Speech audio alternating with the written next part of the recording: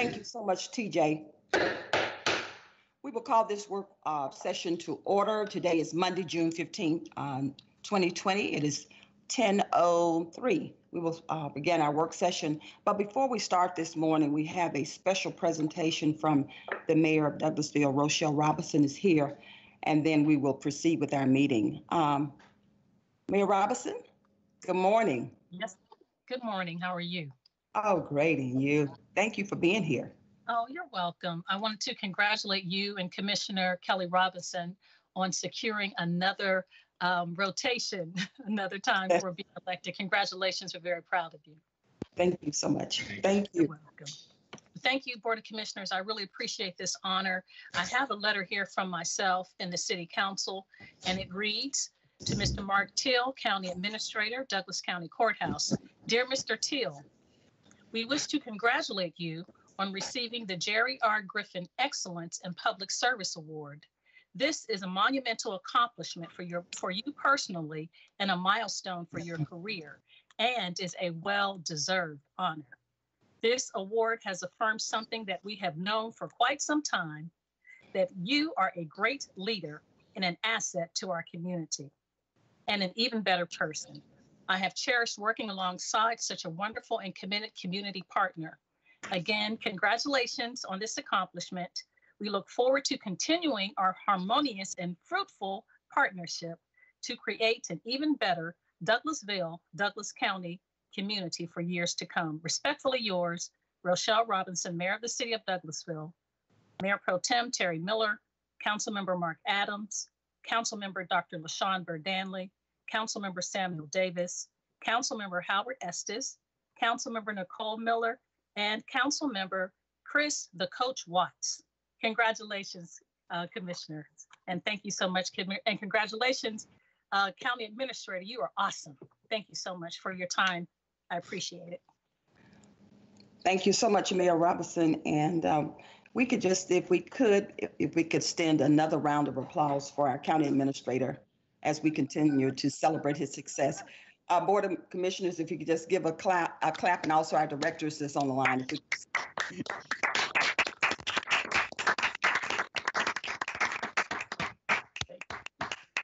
Thank you so much this morning. Um, Thank you so much, uh, Mayor Robinson, for coming out this morning to, to impart or share this, um, this special accommodation for our county administrator. You are correct. He is, uh, he is, is definitely the wind beneath my wings, and I know the uh, Board of Commissioners would echo me as well.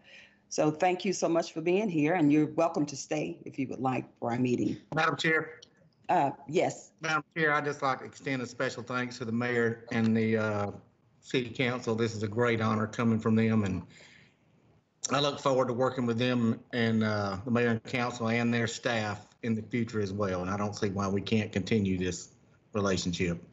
Thank you so much. Congratulations, Thank Mr. Hill. all right. Thank you so much. Congratulations again. Uh, Board of Commissioners, uh, again, and also the citizens of Douglas County who are joining us this morning, thank you for being here. Board of Commissioners, today, uh, certainly we are not able to take any comment, uh, pu- public comment, but however, I am encouraging our citizens to email your district commissioner or either call Mark Teal or our county administrator or send myself an email or you're welcome to call me. Uh, With that being said, we have a pretty robust uh, agenda this morning, and what I'm going to do is we have a SPLOST presentation, but before I start the SPLOST presentation, I just want to briefly just go over some of the, uh, the items on the agenda, and then we'll uh, spin back to the SPLOST presentation. Uh, Board of Commissioners, be prepared tomorrow to approve our minutes. We have our commission, uh meeting minutes, work session minutes, and our executive session minutes, and I ask that you take time to just uh, briefly look those minutes over, or to review those minutes, and then be prepared to approve or uh, reject accordingly. Uh, County Administrator has some business, and I must, I'll go with tab number four, five, and six, and then we will pivot back to our SPLOST presentation. County Administrator has uh, authorization to allocate additional 2016 SPLOST funds in the amount of $22,380.64 for streetlights on the I-20 ramps at Chapel Hill Road, Highway 5, and Lee Road due to GDOT requirements. County Administrator, you want to chime in? Um, yes, ma'am. Due to GDOT, Georgia DOT requirements through the permitting process.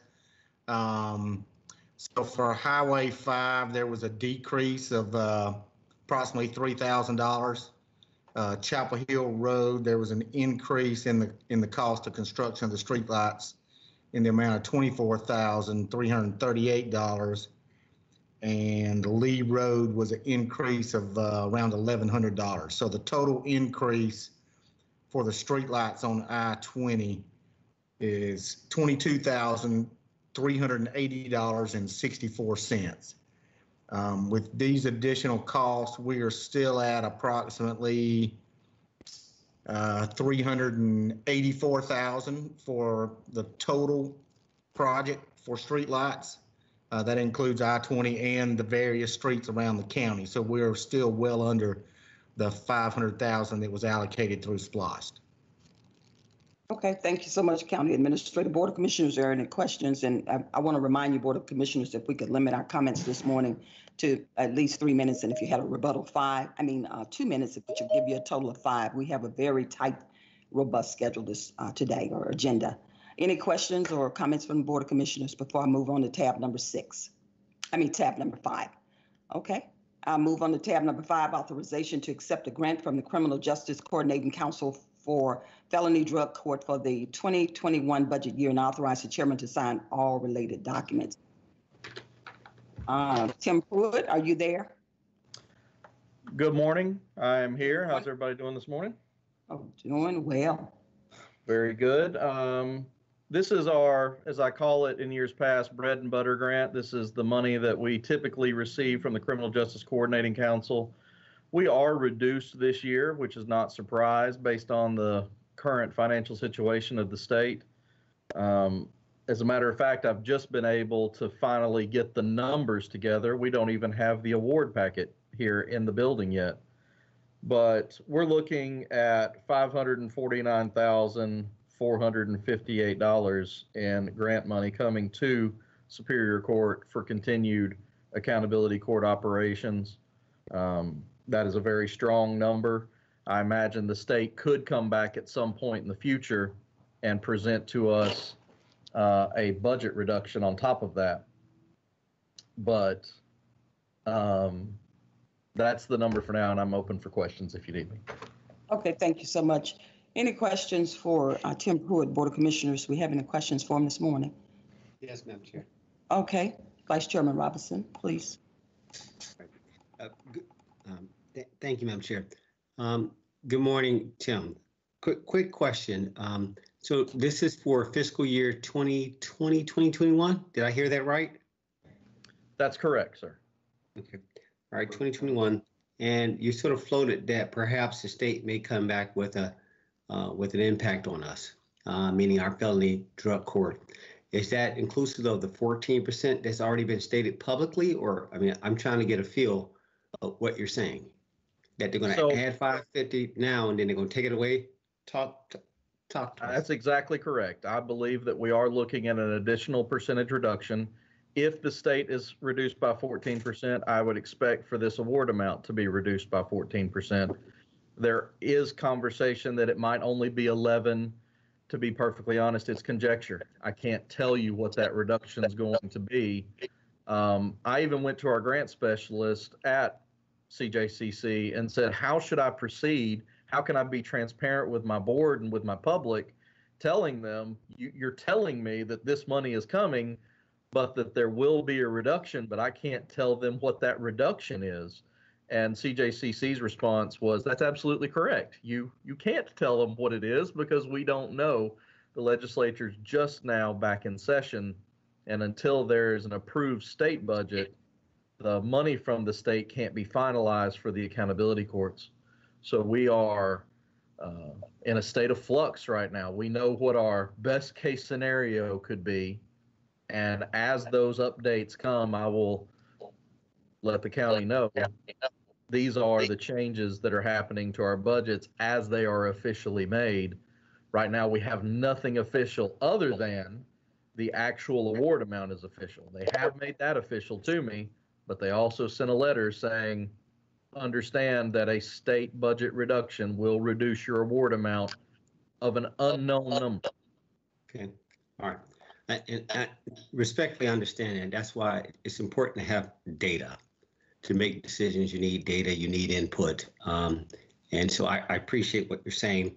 We've got a finance committee later today. We're, we're likewise in our own situation and trying to understand, okay, well, we're responsible for all of it, all across the whole board and see what the impacts are accordingly. I'm going to move beyond that. Duly noted, we'll come back 30 days from now. We'll probably be in a- another state of being. Obviously, hopefully the state's budget will be approved. Uh, and obviously we'll be in a different place as well. So we can give ourselves 30 days. It This wasn't holding you um, to a fire or anything. It was just asking a, a general question. All right, I got one more question. Um, and again, it goes both ways. Madam Chair wants us to keep our questions short, but also likewise, y'all got to be tight on your response. So my, my question has to do, uh, how are the accountability courts doing right now? In light of the pandemic, in light of, like, what is reality? And that's an open statement. You can Answer it however you want. I'm happy to report that the accountability courts were prepared. Um, they were prepared for not necessarily COVID-19, but for operations that might not continue in our normal procedures. We were able to modify those plans for COVID-19 to the point that I think it's important that the public and the board realize that we did not miss a single court day. Every court day that has been scheduled has been kept. We have not missed a single hour of treatment. Uh, we deploy, provide, uh, deliver, whatever word you would like, dozens of hours of treatment every week. And the Saturday where the judicial executive order came out, or the judicial order of emergency came out on top of the executive order uh, suspending a lot of court services, we moved to a virtual format. We were ready. So it has absolutely impacted some of our operations. We are doing some things less. We are doing some things in a different way.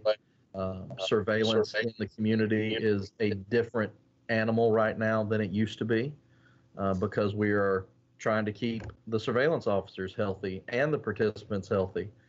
Um, we are making plans for how we phase in uh, in-person services and keep people engaged in the accountability courts at a high level. Uh, we are still providing sanctions and incentives as the accountability court model calls for. Uh, so I'll try to be brief and just say that I, I think that we have a lot to be proud of in Douglas County because there are dozens, if not hundreds, of courts across the nation that absolutely shut down services and did not continue to operate. And that's not the case for Douglas County. We continue to operate we modified, and we didn't miss a single hour of treatment. I got it. That's sufficient of Tim. Our, my, my time allotment has um, pretty much come to an end, but that is sufficient. Thank you. Madam Chair, I yield the floor. Okay, thank you so much. I'm gonna move on if there, if there are another, no other comments from the Board of Commissioners. First of all, uh, let me go, just before, I only see two Board of Commissioners. I, well, I've seen Commissioner Robinson and I've seen Commissioner Guider. Commissioner Carthen and Commissioner uh, Mitchell, are you on the, on here? President accounted for. Yes, okay, I just want to make sure I Yes. did. Yeah, so many people on this morning. I just want to ensure I wasn't just proceeding without acknowledging all the commissioners being on board. Okay, we're going to move on to tab number six is approval of an anticipated grant award for the misdemeanor state court DUI drug court program from the CJJ in the tentative amount, tentative amount of $95,754 for the fiscal year beginning July 1st, 2020 and ending July 30th, 2021 and have the chairman sign all related documents. Are you on, um, Mrs. Granger? Miss Anita Granger? Hmm. I thought I saw, her. uh, Mark Teal, is, is Miss Granger? I saw her come in, but if not, we'll move on to the next one and, and maybe she'll come back in a second. No, ma'am, I did not see her on the, on the list. okay. She was invited, but I don't see that she's on at this time. Is it anyone on here that can respond to? I see she's waiting in the lobby, AG. Yeah, she's on now. Okay, Ms. Granger, I just, um, I'm on tab number six, which is your uh, anticipated grant of the misdemeanor uh, state court DUI drug uh, court program for CJJ. Uh, Can you elaborate for the Board of Commissioners? Yes, ma'am. I'm, can you, uh, hold on a second? I'm sorry. I've been having a heck of a time getting into this meeting this morning. Good morning. Good morning. How are you? Oh, Well, Good. I don't know what my laptop has been like goofy, so I'm on my phone, so forgive me. I'm not, I, I'm apparently having technical difficulties. It's today Monday, it must be. So the, um, anticipated amount of our grant is listed on the agenda. And that amount, um, is gonna be subject to whatever the, uh, budget that the state passes at the end of this month. So it could drop by as much as fourteen percent is what I'm told, but it will not be more than that amount I've listed on the agenda. okay, all Okay? right. Okay, any questions from the board or- or comments regarding this grant? I Well, there believe it- is- it it really echoes, Yeah. There is a ten percent match. okay, 10% match, okay. Yes, yes. Thank you so much, and I believe it really echoes similar with just uh, uh, Tim Pruitt just shared with us as well, the same grant. um, Because it's based on, it's contingent on uh, the final results of the state's budget. Thank you so much, um, Mrs. Granger, this morning. We're going to move on tab number seven, authorization to amend the budget and accept a grant award in the amount of $48,996 from the Council of Accountability Court Judges for the Family Treatment Court and authorize the chairman to sign all related documents. Director King. Yes, ma'am. Good morning. Same as the two before me, this is our state award. I'm sorry, the sound is coming back to me. Um, Our amount is forty-eight thousand nine hundred ninety-six dollars. And that is prior to any cut that may come down the line. Okay. Any questions from the Board of Commissioners or concerns? All right, thank you so much, uh, Ms. King. And what I'm doing, Board of Commissioners, I'm just going to go on all the way to tab number nine, and that take care, that that will address all our grants this morning. We have two grants left Madam from Chair, our department. Madam Ms. Chair, Guider, uh, could we get the uh, Yes. department heads um, to tell us whether or not there's a ten percent grant, um, um, a match? And what's in their budget as, as we go down? okay. I'll The just, circle sound back. is awful. I know. Ms. Ms. King, uh, Jennifer King, can you share with us, i- is there a uh, match required with your grant? Yes, ma'am, there is. What is it? Is it a 10%? What, what percentage? It is ten percent. Okay, all right. Thank you. I hope that answers your question, Commissioner Guider. And budgeted, what, what was it budgeted? Was it a budget, was your, was this ten percent budgeted? Yes. Yes. Yes, Thank you. okay, yeah, typically with Hey, these Madam grants. Chair, Yes, um, Commissioner Mitchell. You might want to ask those who are not speaking to actually mute their speakers because I think we get a lot of feedback. So if you're not, you know, speaking or something is going on, the, the audio, so just FYI. Okay, thank you so much, Commissioner Mitchell. I couldn't hear it, but on my end, but uh, please, uh, if you, if you're not speaking, please turn your mics off at this time. And then uh, as I call your name, please uh, proceed with turning them back on because that is giving us a lot of feedback and noise and uh, background noise. All right, we have two grants left this morning, which is always good news with grants. Tab number eight is authorization to accept the Bureau of Justice Assistance FY20 Coronavirus Emergency Supplemental Funding Grant in the amount of $52,901 and authorize the chairman to sign all related documents. Uh, Director Stanley, Tiffany Stewart Stanley. Good morning, Chairman Jones, Board of and uh, Administrator Martin. This grant um, being provided by the Bureau of Justice Assistance uh, to provide personal protective equipment for county government, law enforcement, courthouse operations, other the county facilities. Uh, We were awarded fifty-two thousand nine hundred and one dollars. Um, For the grant, there is no match. Okay. Board of Commissioners, did you hear um, Director Stanley? Because it looked like she was a little choppy with the, with the response, but did you hear it? I hope all Board of Commissioners heard. If there are no questions, thank you so much, um, this is exciting. Is there a match required for this grant or anything? And I no, think This is straight, okay, straightforward. We're going to move on to tab number nine, authorization to accept the Keep America Beautiful CLPP grant in the amount of $20,000 and authorize the chairman to sign all related documents and amend the budget. Uh, Tiffany Stewart Stanley, Director Stanley.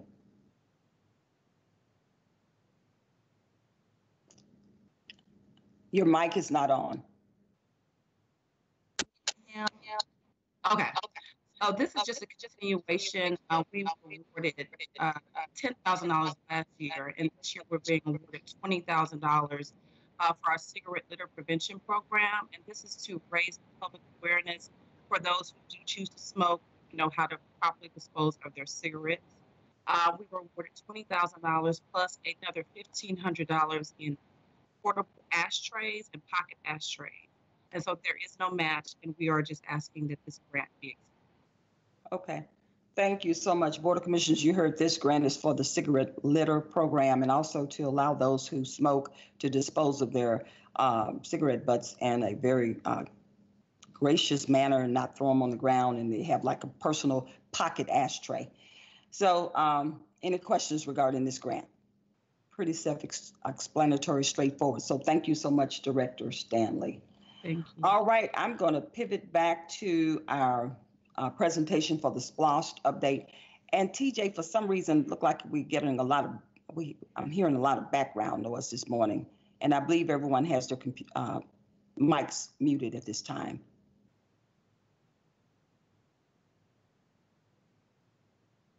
Okay, we have our SPLOST update. Uh, Mr. Terry Gable, would you please proceed? And thank you for being here this morning with us.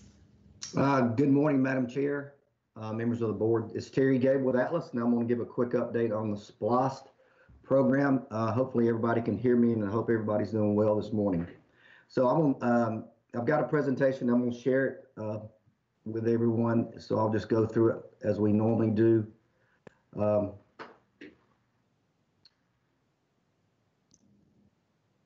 Get it started here. Okay, so with um, no further ado, I'll go ahead and move through it. I know we, we got a tight schedule. Uh, Madam Chair, we- if we have time, David Good does have a few slides at the end for a vendor update, uh, but I'll finish the, the project update and, and you can let, let us know if, uh, if we have time for that. Okay, Um, So moving forward, the, um, we have just uh, crested the uh, uh, $40 million mark for the total uh, amount of funds that have been invoiced out of the program for the, since the beginning of the program.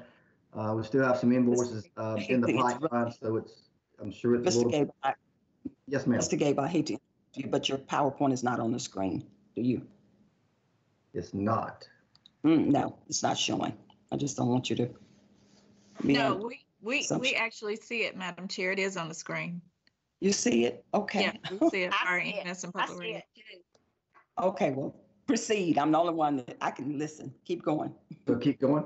Yes, please, please proceed. Okay. I apologize. I can't see it. Um, okay, so we're, we're talking about the revenues. There was $40 million has been invoiced since the beginning of the program. Uh, and just breaking that down by each program, we're at $19.3 million currently for the fire department. Uh, $14.2 million for transportation. And, uh, just a little over $4 million for parks and recs. Mhm. The, the revenues, uh, I'll be reporting on the April revenues, uh, and then the work through May. Um, keeping in mind, this month, or April was the beginning of year four, our first month, so we'll, we'll gradually get through that and see how the pandemic affects us. But we had a pleasant surprise with April.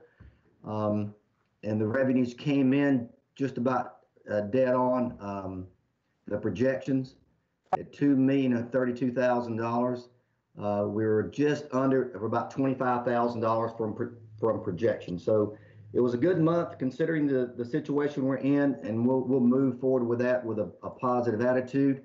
And just looking at the graph for, uh, back to, uh, April of last year, uh, you know, the flat line is the projections. You can see we had a good year, good solid year in, in all of uh, SPLOST year three, we had a couple spikes and, and obviously the one in December that really helped us out.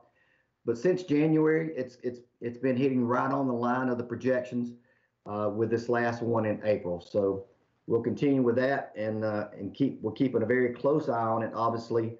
Uh, and then we'll make whatever adjustments we need to make as we move through the program.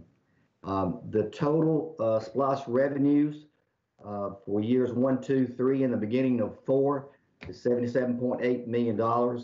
If you can compare that to the total projections, we're still right at $3.2 million that we're over, uh, the revenues over what was projected. So we still got a solid, a solid number there as we move into the um, year four. Uh, to update us real quick on where we're at with the, the bond obligation, we are going into year four, which is the fourth payment that we'll be uh, striving for here. The first payment will be made October 1st of 2020 of $509,000. The second payment, as we've done in the past, will be made April 1st, 2021. It's $16.8 million for a total of $17.3 million for year four payment. Um, at the beginning, the total payment was $69.1 million. And as we enter into year four, the balance on the bond due is $21.6 million. So we're slowly chipping away at it. And after year four, it's one small payment left compared to the other payments. So with that, we'll go into some quick project updates. Uh, the countywide digital radio system, as we've reported, um, is in the final stages of it. Um, Motorola's um, making some uh, some last minute additions with the BDA, the bidirectional antenna in the jail that's being installed. Uh, we have some miscellaneous equipment that um, that they're bringing in also with sirens, which are weather warnings, and some headsets for the fire truck. Um, so the the pandemic in itself has started affecting, and we're seeing it in some other sectors of the of the industry, uh, equipment and material. So things are starting to slow down, and I think they they they had some um, some issues with getting some of this this equipment in. So, but everything is going well. I think the chief has been chief has been very pleased with the the overall testing for the the, the system. Uh, and we, again, we look forward to wrapping this up um, at the end of uh, June, and it may go into July because of the of the pandemic and, and getting some of this equipment in. Well, again, we are in the final stages of it, and hopefully we'll be there uh, here shortly, and then we'll make a final acceptance and close that project out. Uh, ambulance procurement for 2020, we have two that are on the uh, on the books for 2020. Uh, the chief is going is moving forward with uh, advertising for one ambulance at this point. We're just again being cautious about what we're uh, about moving into this year with the pandemic. Uh, but they'll go ahead and get that advertised for one ambulance for this year and get that get that on the street. Uh, fire truck uh, procurement for 2019, I've got that in here. We just took delivery of it in May uh, and, and, and made the, the payment in late May. But I did want to show a picture of it. This is a new piece of equipment that's added to the chief's fleet. I'm sure he's very proud of that. Um, and, um, and we'll take full advantage of it, but they do have it and it is in service now. So we are in the process of, uh, the chief had one more fire truck for 2020 that was in his, in his program. Uh, it's been approved by the board and we've selected a vendor for it. We're just working through, he and Scott are working through the final um, stages of the paperwork to give the, uh, the vendor a notice to proceed. It's going to take approximately a year to, to fabricate the, the fire truck and we'll give you reports as, um, as we go through, let me get my, as we go through the, um, through the year. Staff vehicles, the chief, um, had two vehicles that he had, uh, has been put, put out for order. It's two F, uh, fifties. Uh, they should be delivered this fall. So we'll, we'll keep a track on that. Don't, don't anticipate any issues with, with the pickup trucks. And last uh, on the chief's list of projects is is uh, Station 11. If you remember, this is a project where it's primarily site improvements. uh, in sewer, uh, sewer system improvements for the chief. It's to, to redo the parking lot, make better access for the fire trucks coming in from the back off 92. Um, and we are in the preliminary desi- design stages of it. At this point, just trying to work with, um, the various departments, uh, including GDOT, since it's on 92, and trying to make some determinations on what, uh, what's the best sewer system for the fire station. And it, it's had, it's having a big impact on it with improvements that we're trying to make. But we're working through that and we'll be working with the chief and GDOT and the various, and WSA to make some final decisions on that. So with that, uh, everything is moving quite well with the fire department and we'll, uh, we'll move into, into transportation. Uh, I'm sure you probably glanced at your agendas. Miguel has several things on the, um, on the agenda that he'll be going into detail. Well, he'll be going into more detail as he presents them. And I'll just give a brief, uh, overcap of, of where, what's affecting each project. Uh, so for the 2020 resurfacing, uh, we're, we need to get this project underway. Um, on the agenda is, is the board's approval, consider approval for Baldwin, um, paving for, um, for the, uh, milling and, res- uh, the milling and, and patching for the resurfacing this year. And if you remember that, that, that piece of the resurfacing program this year is being contracted out. Uh, the milling and the patching and the, uh, the Douglas County's maintenance forces will be doing the resurfacing. So we'll get that underway, um, once that's approved and we'll, um, we'll move forward with, and get the 2020 resurfacing started this year. The Stewart Mill Road project, if you remember, is, is, is in the, the, the uh, right-of-way phase. Um, Miguel has got all the options out, uh, to the various property owners. Um, and he, we're, he is still waiting on responses to come back. Uh, and trying to be a little bit patient with them considering the pandemic and the, again, the situation we're in. So we're, we're needing those to come back from the property owners and he'll move forward with, with acquisition of, uh. Hey, of Terry. parts. Yes, Uh, we don't see your presentation, don't see it now? sir. Just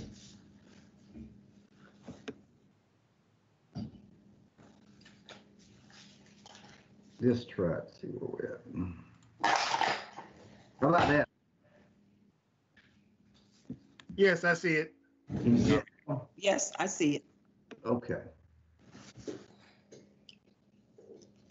thank you, David. You're welcome. All right, so um, if everybody's good, you can see it, we'll move forward. So Stewart Mill Road, again, is in the right-of-way phase. Uh, Bright Star at John West um, has been, was approved by the board last month, contractor for construction. We had a, Miguel and had a pre-construction meeting on Friday. They've given the contractor a notice to proceed. So this project uh, will be our second intersection projects under the SPLOST program that'll be under construction this, this year. So good news there. Sweetwater Church at Doris Road is, has been under construction, is on schedule right now. Uh, no issues there. It's been moving a little bit slow. Um, just trying to get the utilities out of the way. And again, uh, that's a pretty tight intersection, but no problems in the projects. The, the like I said, the project's on schedule and moving forward.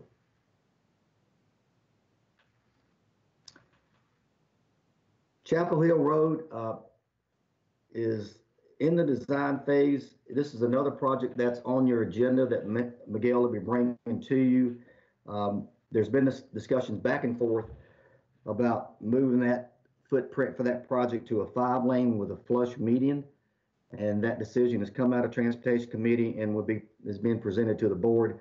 Uh, it- It's requiring some additional uh, uh, design work by SEI. So there'll be a, um, a, um, it's an item on there for supplemental agreement for additional design costs to do the, um, uh, the additional design work for the five lane and for the extension of the terminal. So that's good news. Uh, that, that's been, uh, it was an important part of that project, um, and a good move by the board to get us to this point, but, uh, we need to get the designer back on track uh, once we move past this point, if it's approved. and get uh, SEI back on, back on track. Highway 5 is, uh, is still in the design phase and moving forward. Uh, Miguel and were able to work out an agreement with the, uh, with the uh, developer on the amount of right-of-way that's needed. Um, So we're, we're full steam ahead now with the, with the, uh, with the design plans and look forward to moving into the right-of-way phase. Once that gets completed and we get a solid footprint for the, uh, for the right turn lane on Highway 5. Coast Road Bridge at Dog River, um, no updates from GDOT. We, we fully anticipate the contractor is on schedule and will be in Douglas County as we've reported in the past, uh, this fall. Uh, hopefully as we, we move closer to that time frame, we'll start getting some more accurate updates from the contractor and we'll, we'll start, uh, giving you more specific dates on when he's gonna move in and, and the time frame of the project. And moving on to our sidewalk projects, again, we've got a few of these on the, uh, on the agenda. The first, first one is Lithia Springs Elementary School. On the, uh, on the agenda for the board to, uh, review and approve is, uh, the Corbett Group, uh, for the contractor of three hundred sixty-three thousand dollars for the construction of the, of the sidewalk over in Lithia Springs. And then the same thing with Chestnut Log Middle School, uh, Prime Foundations, uh, was the low bid and it's on the, uh, the agenda for approval at two hundred and seventy-five thousand dollars, uh, roughly to, uh, to get this project under construction this summer. And we, I'm sure all of us are looking forward to getting some sidewalk projects out there on the ground. And then, uh, lastly, with the, the sidewalk projects is the new Manchester High School. Another item on the agenda, um, the, uh, Miguel has finally got to go ahead from GDOT for the speed reduction on 92. But the first phase of that would be a public hearing, and that's what you'll see on your agenda uh, for the board to give him the, the authorization to move forward with that. The speed reduction will allow us to complete the design for this, for this project and to provide a prote- pro- protected crosswalk on 92, uh, make it a much safer environment for the pedestrians out there and be able to safely cross 92. Um, But it, and that, also the, another big important part of it is it'll, it kicks us back into the design phase and um, SEI can complete the design on it, which is about 90% done, but it'll be wrapping up the final plans and, and getting the final permit from GDOT. Whitestone Culvert uh, has been delayed, It- and we've kind of kept you abreast of this. Um, There was a, a design change in the footing and which resulted in a dig duct, so that was, that was well worth the time it's taken. Um, And that is also on the agenda as a change order for uh, Cor- the Corbett Group uh, in a reduction of around $123,000 from the uh, original contract price. And again, once we get this approved and get it, get the uh, paperwork executed, we will uh, be able to allow the contract to get back to work um, and finish the culvert out there. The streetlights, uh, we've got those in two phases. Uh, Mark just addressed the, the phase one uh, that finally gotten, we're working towards getting all, everything approved uh, that, that GDOT requiring on the plans. Uh, And once we get that approved for the cost adjustment, we'll get that, hopefully get that project started in phase one and, and we'll be moving into phase two with the uh, various intersections and road segments around the county.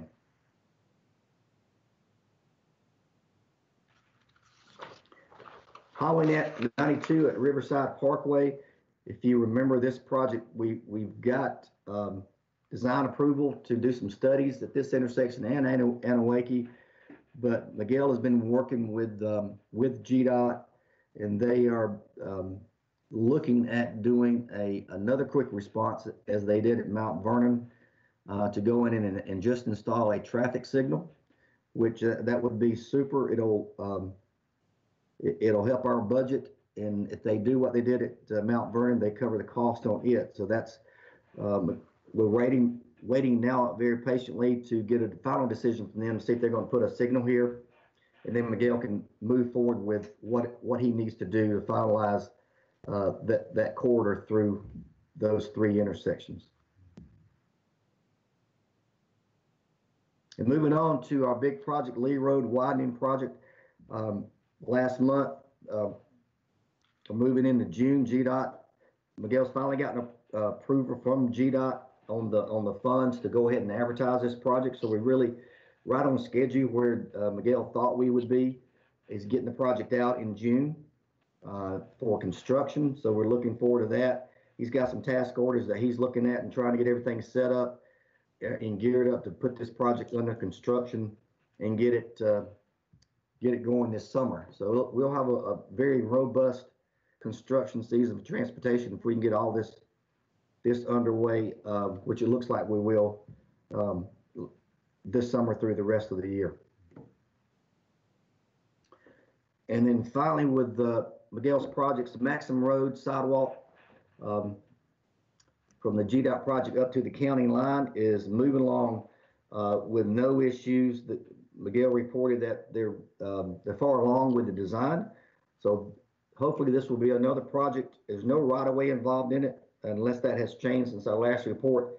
Um, so this project will, um, have a good chance of getting, uh, getting final plans and, and getting, getting it out to bid this year also.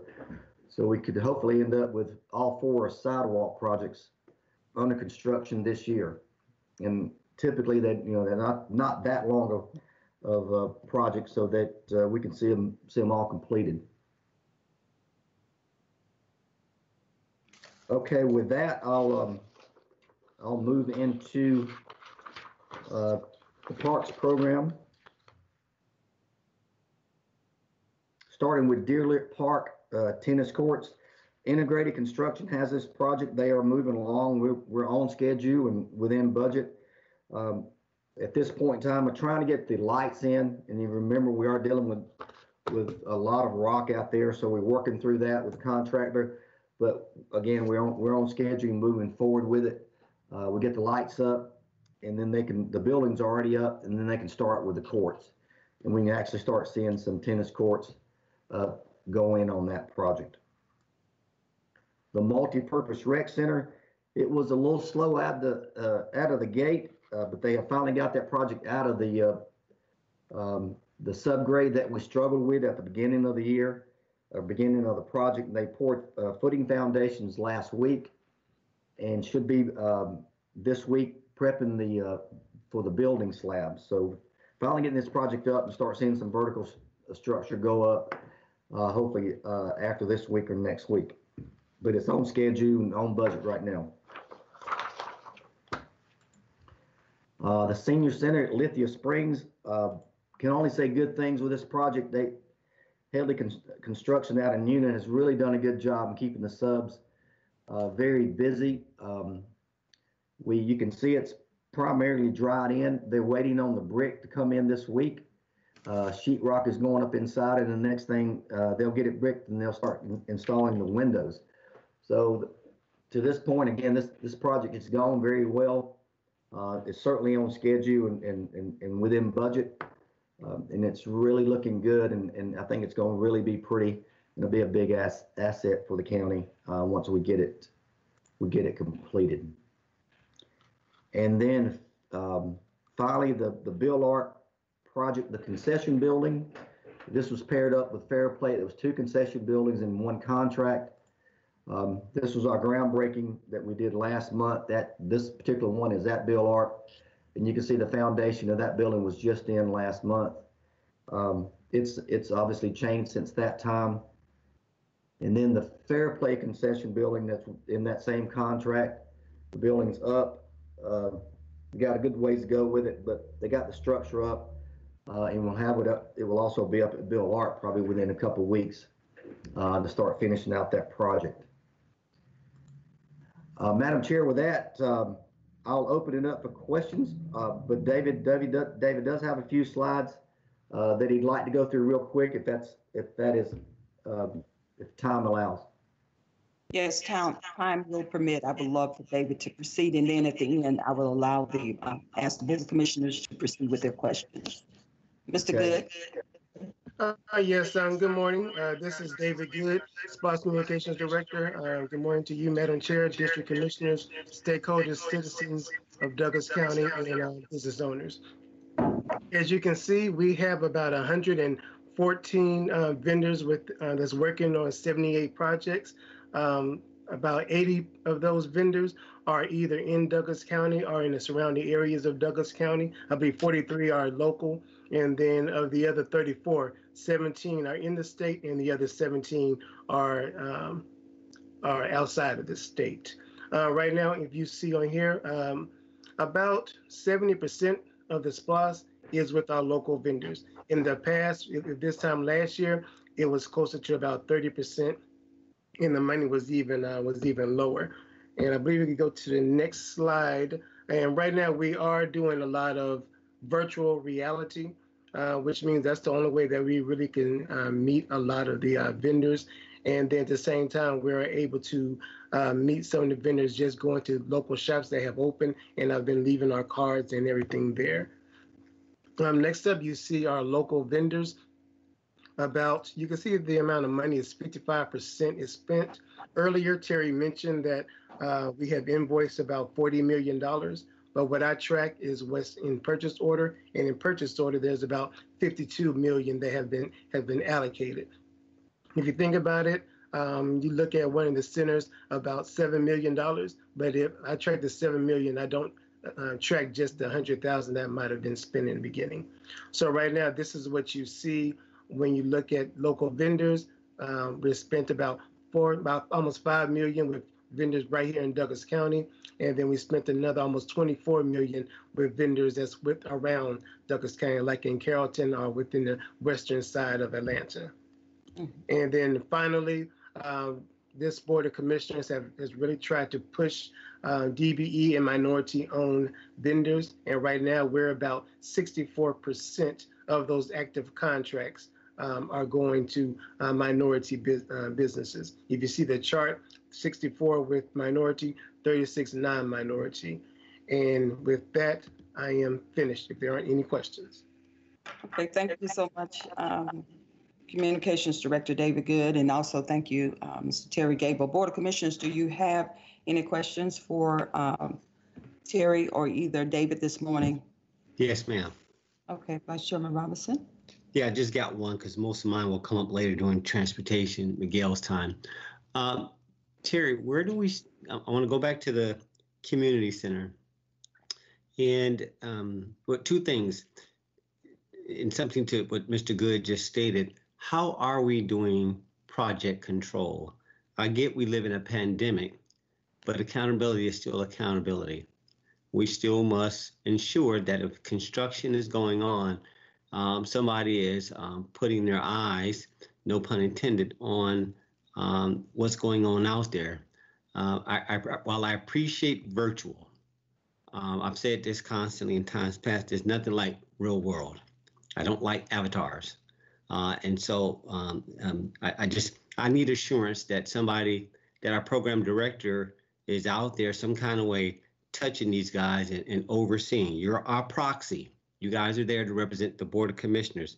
And I'm just, we, we hadn't talked in a while, so I'm, I'm not after anything, but I need to hear, but what has been happening over the three to four months that we've been in timeout?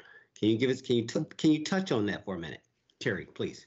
Uh, yes, sir, be happy to. So all the projects, um, since day one, uh, we started out with virtual meetings. Now, my, my plan was to, to go to all the site visits. At each month, uh, at least once or twice, the architect, the contractor, um, myself and James Worthington with the county um, meet um, to go over the project status and anything, uh, any issues uh, that that's come up that month. We started out doing those virtual. Uh, we've opened them up a little bit uh, to actually doing them on site. Um, but uh, outside of that, so I, I'm uh, with James Worthington, obviously, uh, we keeping we keeping tabs on the projects very close each month, uh, and I try to get out there actually a little bit more than that, just to, just to know the status of it and what's going on, and talking with the superintendent and the project manager with each contractor. Okay, that, that that's fine. I just wanted to um, put it out there to, to um, I was just hearing some things and I just, I needed that assurance. This is okay. So what, what has been happening? Uh, I hear we're spending money, right? It, it, you know, remember we're the check and balance. Every now and then we'll, we'll show up and say, okay, now what's going on? And so, you know, who's overseeing the overseers in essence? So, all right, you get the point. Let me move on. Second point is let's come back to the community center. Um, you said we're a little bit slow coming out the ground. Um, well, who is the firm that's responsible for this project? And um, is this something that was it groundwork that got us behind, or what? What's really going on that we finally uh, we were a little slow out the gate? You, you sort of framed that, and I just wanted to probe a little bit more. Yes, sir. And it was, uh, if you remember, we had a very wet winter. Uh, and they, that project required, uh, five foot of fill to be placed over that entire project site. So they had to get the subgrade stabilized before they started. First of all, it had to dry out. Well, we allotted some time for that. Um, you know, it kept raining, uh, from, from February into March when they had the notice to proceed. Uh, so they, they were slow because of the weather, because of the, the, uh, the wetness of the uh, subgrade. And, uh, and then even with that, we had some unsuitable soils that had to be removed.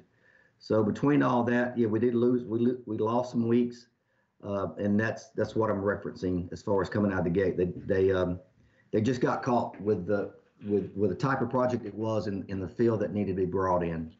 Okay, I just wanted to frame and set expectations for the public that really, to your point, uh, it's it's really weather related. Um, it's it's a um, a macro effect in the sense that uh, we recognize how wet it was during that period of time, which is why all of our groundbreakings were pushed off to what just just recently and stuff. So Sure. we do acknowledge that. I just wanted to mark that for the Parks and Rec Committee that no, I, you guys have got this, and I want the public to know that we're on point but we had to work through the weather. So that's all I wanted to do is just make that reference, Madam Chair. I'm good. I yield. Thank you.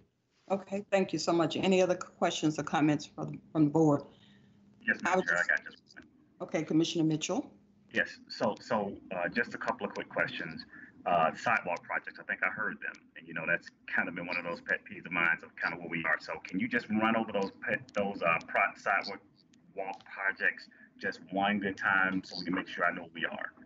Hey, yes, sir. Let me flip back over to um, each one of them. We'll, I'll go through them real quick.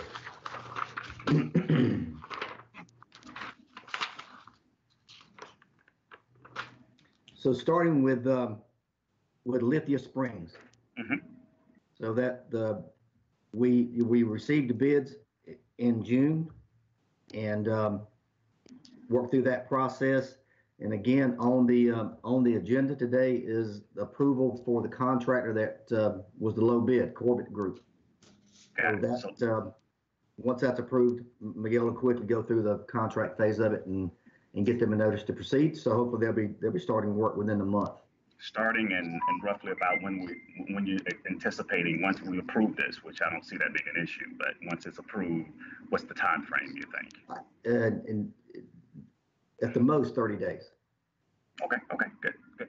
Okay, and I don't mean to put you on the spot now. I mean, if it's No. 60 days, I, I, I'm just kind of get a, a roundabout number because, you know, this has been a project, at least these sidewalk projects been around for uh, many years.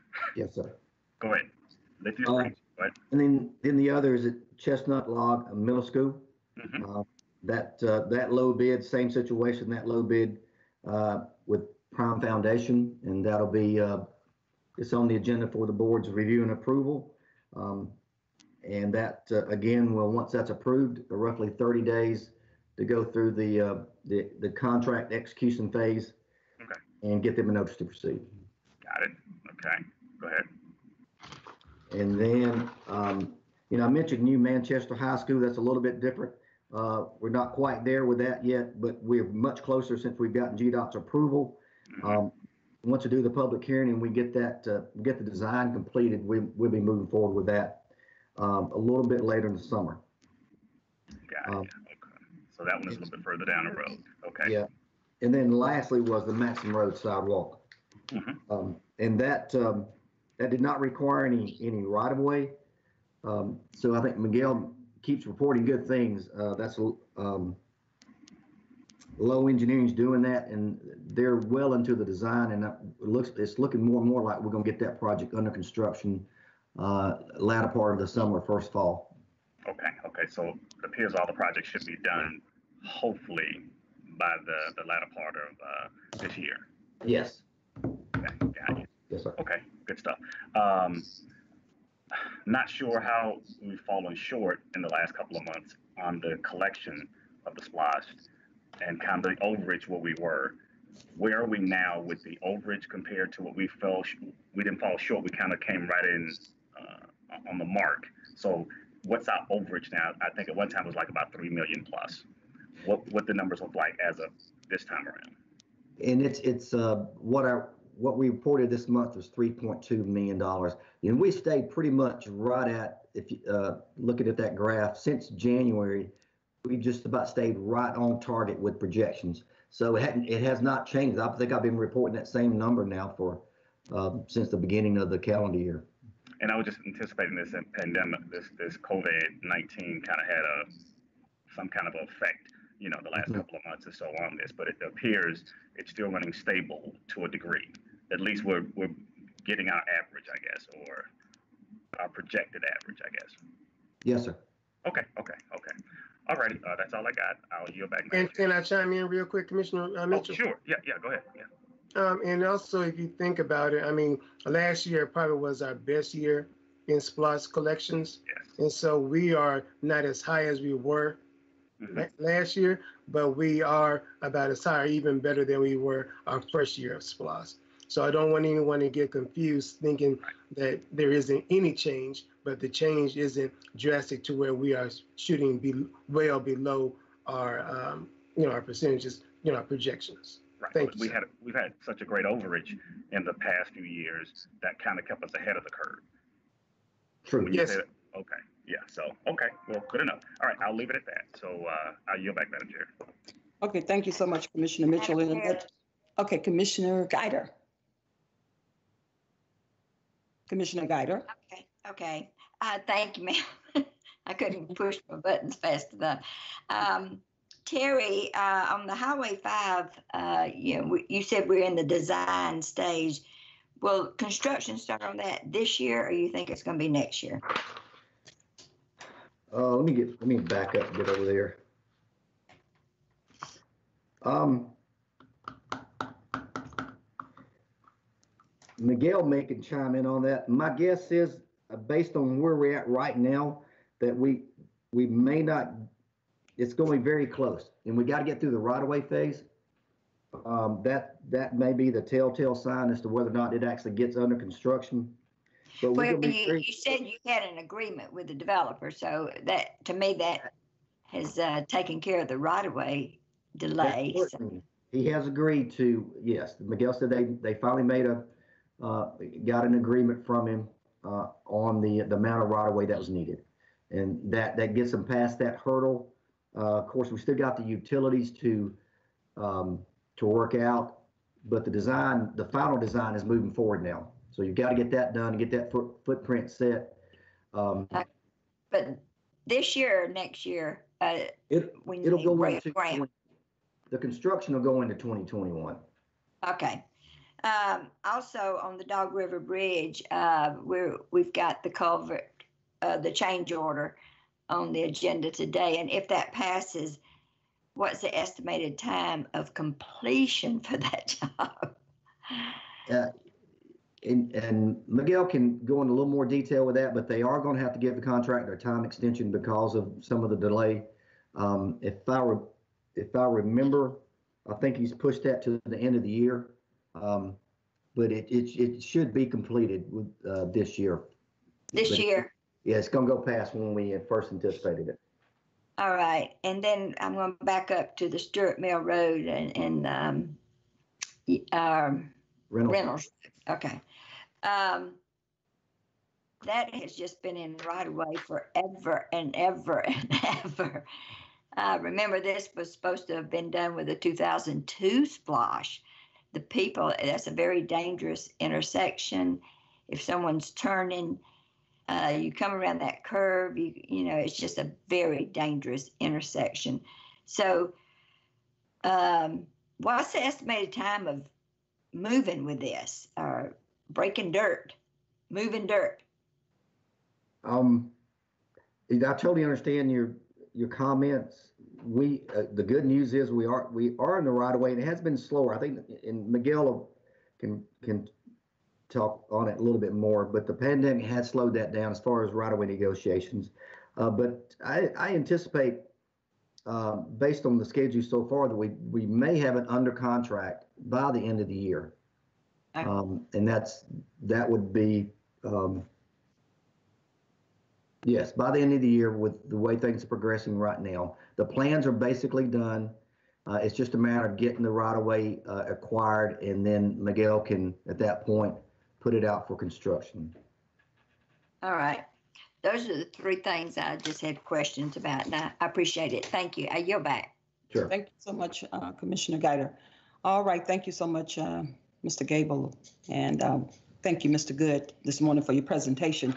And it sounds like in a nutshell, we're doing better than expected in terms of our revenue. So thank you all for bringing that exciting news to us this morning, particularly as we deal with this unprecedented uh, times in our lives.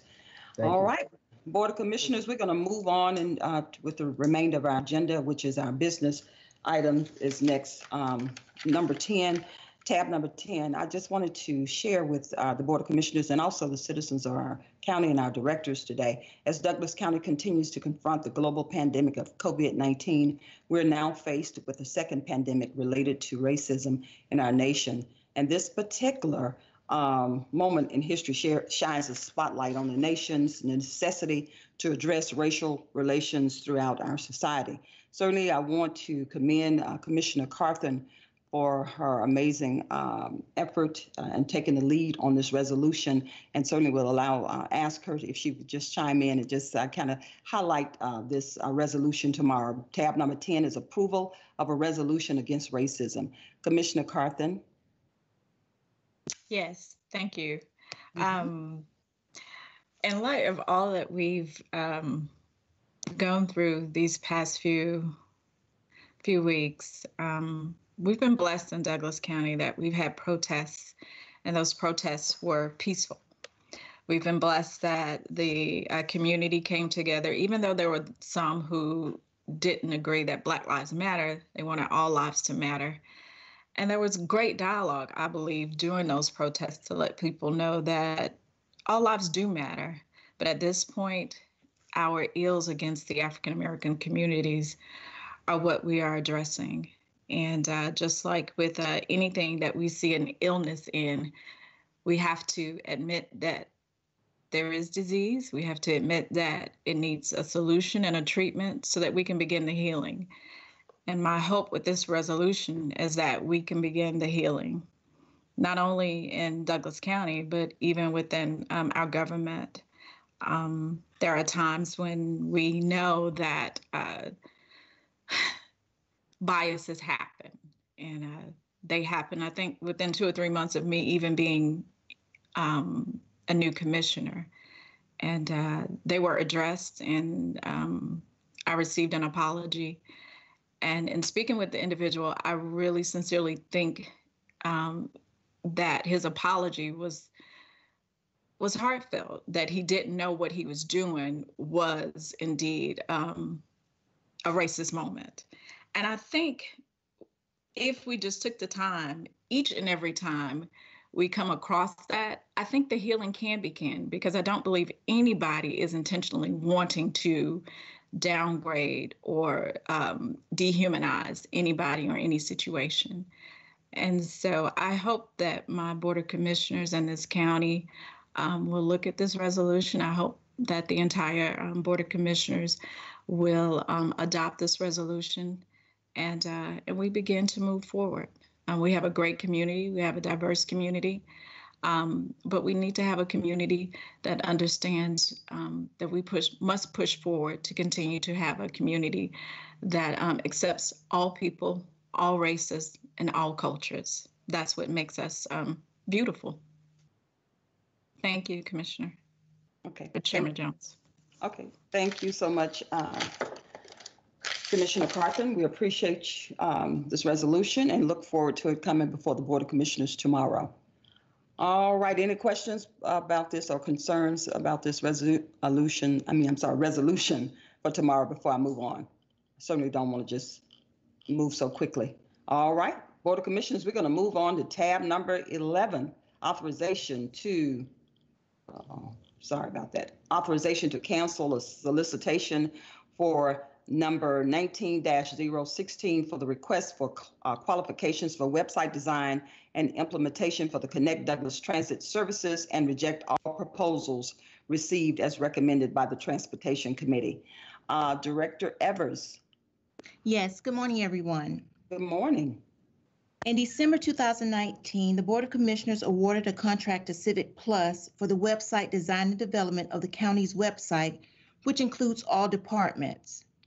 The need for the requested service that was advertised in August 2019 for website design and implement- implementation for the Connect Douglas Transit Services has been eliminated to Connect Douglas opting to utilize the services provided by Civic Plus under the current contract that Douglas County has with Civic Plus for website design and development. The design of Connect Douglas's website required additional options. Therefore, these additional options were provided as an add-on cost of $5,221.32. Therefore, we are asking authorization to cancel solicitation 19-016 for the request for qualifications for website design and implementation for the Connect Douglas Transit Services and reject all proposals received. Okay, thank you so much, Director Evers. Board of Commissioners, any questions or concerns? Okay, I- Madam Okay. Chair, can you hear me? I can hear you, Vice Chairman Robinson. Please proceed. Okay, I, I, I had, well, two quick things. I'm fine with this one, um, in, in that it just, it, um, um, Director Evers, this is just a rejection, correct? That is correct. We're canceling the solicitation altogether and rejecting re- the qualifications that we received in. Okay. And this comes, um, does it come as a recommendation from the Transportation Committee? Was there some type of contingency? Uh, County Administrator, can you weigh in? I think this was something that we wanted to make sure that there was cover from the other committees. Um, in other words, we're, we're acknowledging the fact that we're going to go with this broader website and throw this away. Can you, can you speak to that, someone? Yes, it came as a recommendation from the Transportation Committee. And when Rick and Gary were working through the process for the website design, um, it was cheaper, uh, more cost effective for us to go with uh, Civic Plus, which was the team that's uh, performing the website redesign on Douglas County. Yeah. All right. So was, was there, um, um, so was there, were, there were no costs, um, associated with this interim play. And what we currently got out there as a landing pad, that's just our normal operating cost for, uh, putting information out there to the citizens. Is that accurate? Yes. All right. So our current, um, um, Connect Douglas website, we currently host it ourselves. It still has the schedules, it still has the map, it still has the information that's out there. And all we were talking about was an upgrade for that. And as opposed to going to an upgrade for that, which is already out there, we're just gonna roll this all up under this um, civic um, website. Yes, sir, that's correct. This, this is Gary Watson. I, I can talk to that. Please. Uh, for, for the time being, uh, our website will still be integrated in, into the county's overall website. The work that we want to do moving forward is we will upgrade uh, our website to where we will continue to be part of the county's overall website. But we have, we'll, we'll have our own standalone, own, uh, website presence as well. And this is all integrated in the work that, that we'll be asking Civic Plus to do for us. All right, so, but, but again, and again, I'll, I'll yield to, uh, one of my other commissioners. We're just gonna have one website, one overall, like having silos and having these independent worlds, it, it's not the most efficient. Uh, and I, I guess, I understand that there's a bigger picture, a bigger vision for how we aggregate data, share information with our citizens, and also support ourselves operationally. So I'm just, I'm, as we evolve from a 1.0 to a 2.0, I- I'm just, I'm wanting to hear that, yes, we're moving to a, a one place. Yes, you can have your autonomy in, in, in updating your world, but there is a single view, a single dashboard of our web presence across all areas, all 64 functions of our SDS. All of them one spot. Can somebody answer that? One spot. I don't care how the tree branches out. One route, one website. Is that accurate? Well, our, our website will be part of the overall county's website. So I, I think the, the answer to your question is yes. There will be a one, one shop for everybody as far as uh, the, uh, the county's website. I- And I think Rick Martin's on the line today. He might be able to address that, that more, but that's my understanding that it, it will be one, one stop, one shop for everybody. Okay, I, I, I'm looking for a definitive answer. You- You're okay, Gary. Thanks for stepping up, uh, Director Watson, to cha- answer that. But I, I need somebody who's, who owns this and who can answer a single question that there will be one vision. Anybody? Yes. that's- All right. Commissioner Robinson, this is Rick Martin. Yes. One vision, Connect Douglas will have its own website. Okay, so Connect Douglas will have its own website and everybody else will be part of some other separate website? Yes, sir. All right, so that, that runs contrary to my very point, which is, why isn't it integrated? I mean, why, why, why don't we have, I thought Civic Plus had the capacity to have a holistic view of a county. Uh, and, and while it recognizes that there are different operating entities, different subgroups, different agencies, it's still, you should have a single view. And so I'm, I'm, I'm not trying to belabor this and I'm going to yield. I'm just, com- Let, Commissioner, let, let me go back, to address that again. If, if, if somebody's looking for information about Connect Douglas, they can go to www.connectdouglas.com and it will direct them to our website. However, if, if someone goes to the county's website, celebratedouglas.com, and clicks on departments, uh, Connect Douglas will still be included in that department list. So, so we will be incorporated into the county's website, but at the same time, um, as a matter of, of individual individuality, someone could just go to connectdouglas.com and it would go directly to us. all right. So I'm, I'm paying um, Civic Plus and I'm paying whoever you're, so I'm, I'm following the money. And I, I get these, these, you know, sort of what we went through before with our prayer website. You had this, you know, we had these side deals. We, we had these favorite entities that were hosting different things and doing updates. And I'm, I'm listening to you guys. And I'm like, okay, it, it sounds like I'm, I'm, I'm, I'm just asking questions. Didn't know where I was going with this until you guys began to respond. But um, I'm going to belabor this for right now. I'm going to take it offline. I, I'm sure we got a long agenda. Uh, and sorry for all the feedback where that's come from. But I, I think I'm okay for right now. Uh, I'm okay with um, doing what we what was on the agenda, which is the business item, which is go ahead and reject as Director Evers asked for. Let's stay on task with that. I support that as coming out of Transportation Committee and, and not to belabor that any further. But I will um, have to double back with my, my peers on uh, making sure that the overall strategy for our, our web design and our ultimate web presence, it's, it's, it's more tightly, tightly integrated than perhaps what I'm perceiving at this moment. Madam Chair, I yield. Madam Chair, can I, can I say something? Yes, J- please. Mr. Vice Chair, uh, Rick Martin here again. Yeah. Just, just to clarify, what we're working out is there will be a link on celebratedouglascounty.com that will take you directly to Connect Douglas. And if people wanted to reach Connect Douglas directly, they would be able to reach Connect Douglas directly as well, sir. Okay. Sounds like a seamless but bifurcated process, which really in the 21st century, that's pretty uh, acceptable. I'm just, Commissioner Mitchell, I know you are the chairman of this committee. Could you chime in a little bit and just assist us? And I know Commissioner Carthen is the vice chairman. Right, absolutely. And I was going to defer to uh, uh, Commissioner Carthen, but I'll just add just one, one little note to this.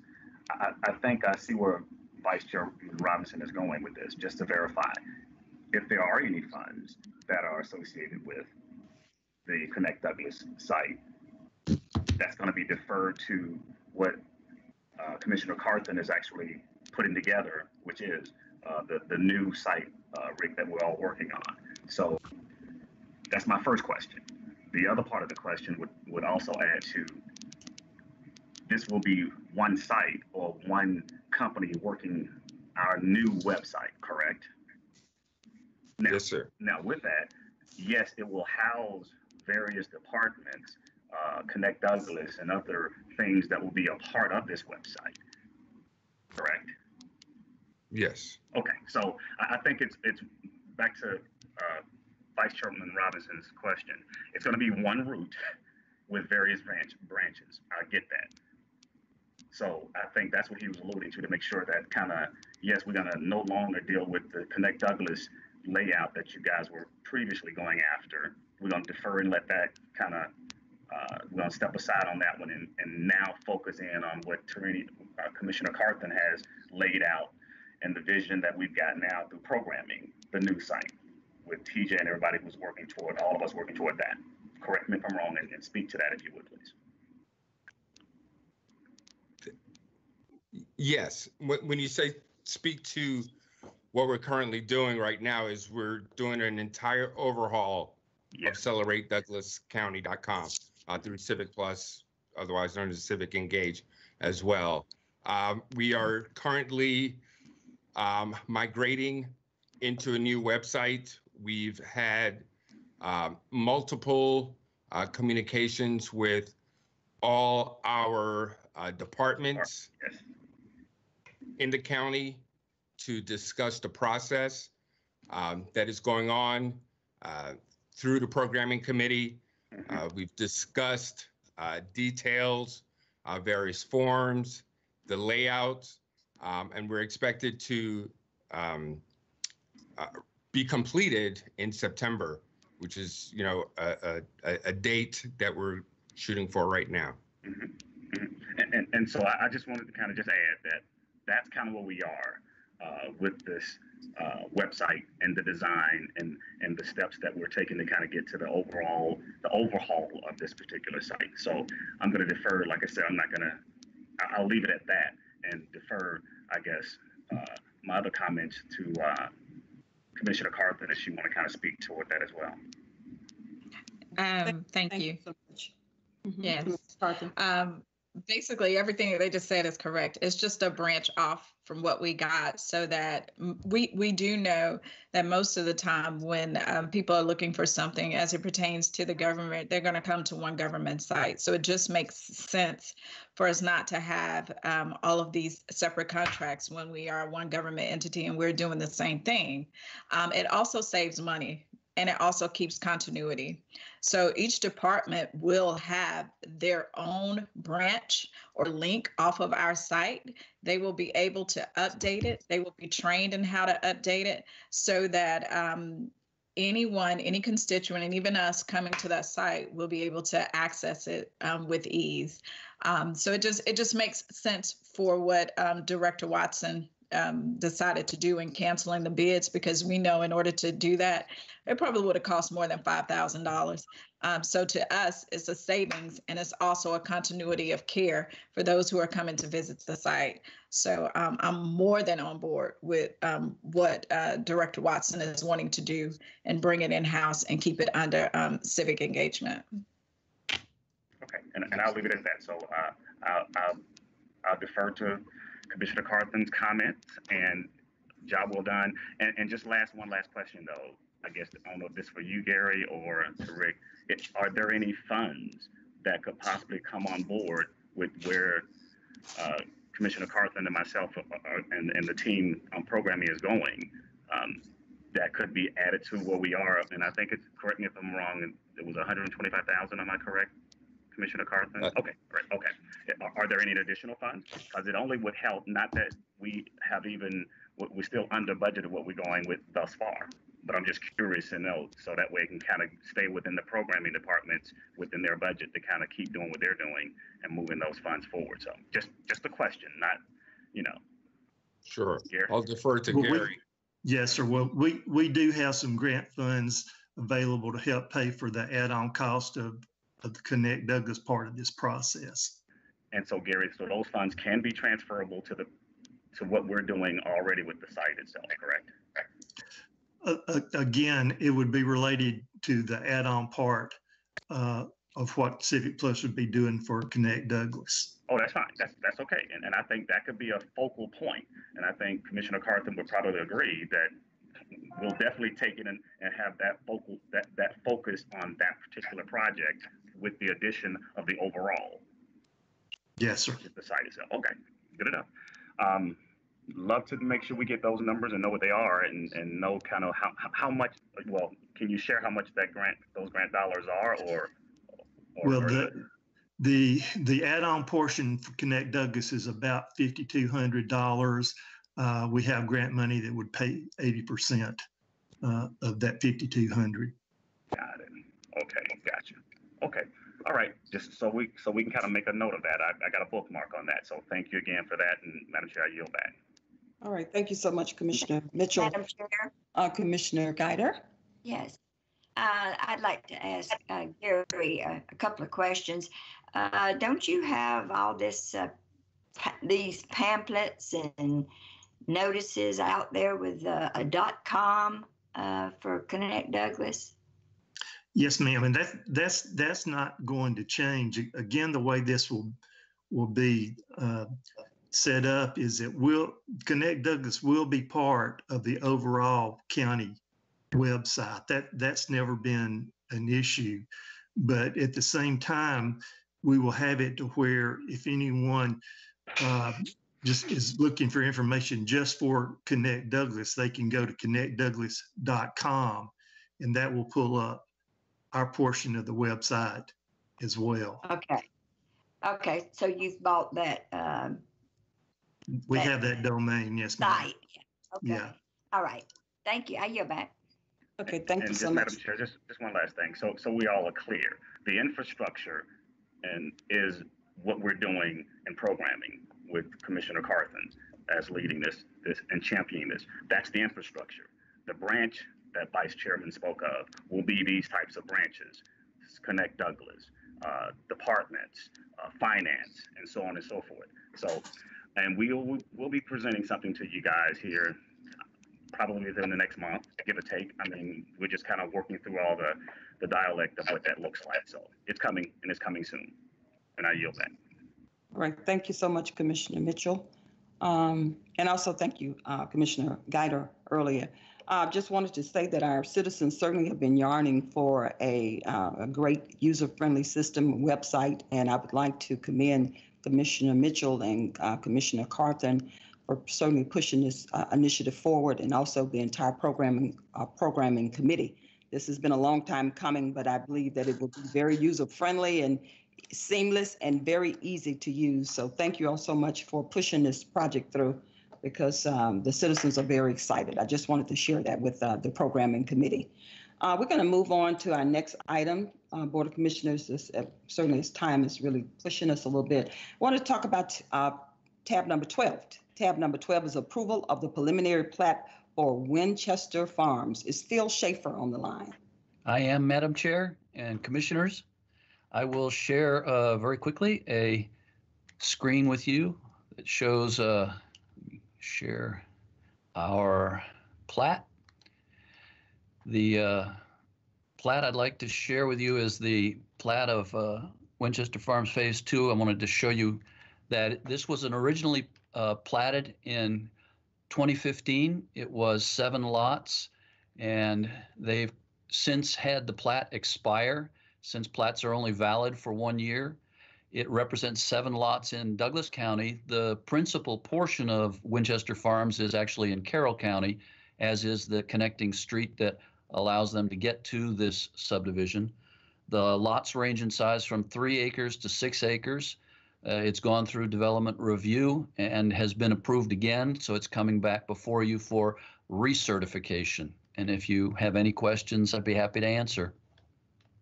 Okay, thank you so much, Phil. Board of Commissioners, any questions for um, Phil Schaefer? Okay, Phil, sounds um, good. Sounds like another pipe farm has come off the, the books. Yes, So- it has, Madam Chair. Thank good. goodness. Excited. That means we're moving forward. Thank you so much. We'll move on to tab number 13. Tab number 13 is authorization to amend the elective provisions of the ACCG Retirement Services Plan Agreement for certain elected and appointed officials as Class 4 employees and authorize the chairman to sign all related documents. Um, Director Perry. You're muted.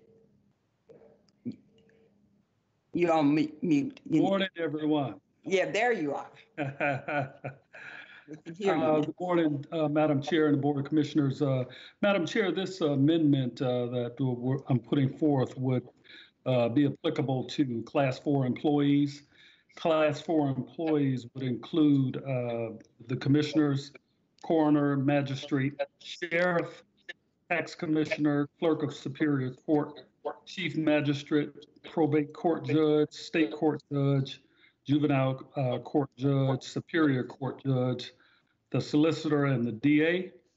Uh, This amendment would allow for those uh, Class 4 employees to elect in-service retirement benefits uh, once they reach the age, uh, the normal retirement age of 65 or older. So uh, uh, at that time, if they elect this benefit, there will be no further added benefits to their retirement annuity. So uh, they could, uh, you know, uh, at the time they reach the normal retirement age, they would be allowed to uh, begin to um, uh, receive their monthly annuity. Uh, This is something that is done statewide, from what I'm understanding from Paul Bates, and would be a good benefit to those employees in the Class 4 category. Okay, thank you so much, Director Perry. Any questions from the board or comments? All right, sounds pretty self-explanatory. We'll move on to the next item. Thank you. Tab number 14, authorization to approve the Connect Douglas. Transit- Madam Ye- Chair, ye- Yes, I hear a voice. I'm sorry, I couldn't Oh, unmute. Mr. Carthen, you couldn't you couldn't get the So- button. Yes. Yeah. So, uh, Director Perry, can you tell us what we, what was elected before and why this has come about? What, what was elected before? Okay, so, so this is, uh, this is just a, an option for us. So it actually, uh, was one that, uh, that we had not put into use. So, uh, you would have to either meet the rule of, uh, eighty, or you would have to, uh, meet the normal retirement age of sixty-five. And you could not, uh, still remain in service to, uh, to take advantage of your monthly annuity. So that's the difference. Okay. And how, and did this come about because you were going through the, um, through the pension and, and what we had on the books and you? Okay. Actually, this came about uh, a couple of years ago uh, with the with the sheriff. The sheriff, once he was elected, uh, he he retired prior to his uh, um, to his election, his first term as sheriff, and he continued on uh, to receive his retirement benefit in era. So there was some things that we had to clean up, but the conversation actually started then. He wanted to know, um, you know, if, if it was a possibility for him to continue on as sheriff and continue to receive his uh, uh, his annuity benefit. That's something that I talked with Paul Bates about. Then um, he brought it to uh, my uh, attention that there was an election in our adoption agreement that would allot for that, but uh, the person allotting, uh, taking advantage of that benefit would have to be the normal retirement age of 65. It couldn't be, uh, you know, the unreduced retirement age or anything other than that normal retirement age or older. Got you. So this allows us to clean that up and not have um, the the annuity and the the the getting of refunds. This allows us to clean us up. Eh, Yes, yes. And it allows us to clean that up and then it allows us to provide this option for anyone that uh, reaches normal retirement age and they're continuing on in service to the county. Got you. Okay. Do you know how many people this will affect? And is this in retro? It is not in retro. This is Okay. something that will go into effect if approved by uh, the Board of Commissioners, I believe on the 1st of July. It would not be uh, retroactive, so it would be uh, 1st of July moving forward. Okay. All right. Thank you. Madam Chair, I yield. Okay, Commissioner thank Rob- you, Commissioner Carthen. Vice Chairman Robinson. I see you. Yes, yes. hmm Yes. Madam Chair. All right. So thi- this is dealing with benefits, retirement benefits. Uh, And this is dealing primarily what it sounds like elected officials. Yes, Right. sir. All right, so here I am making a decision on basically my compensation. It's okay. I'm, I'm making my point as you know I normally do. So I'm gonna make a decision on my, my, my future parachute.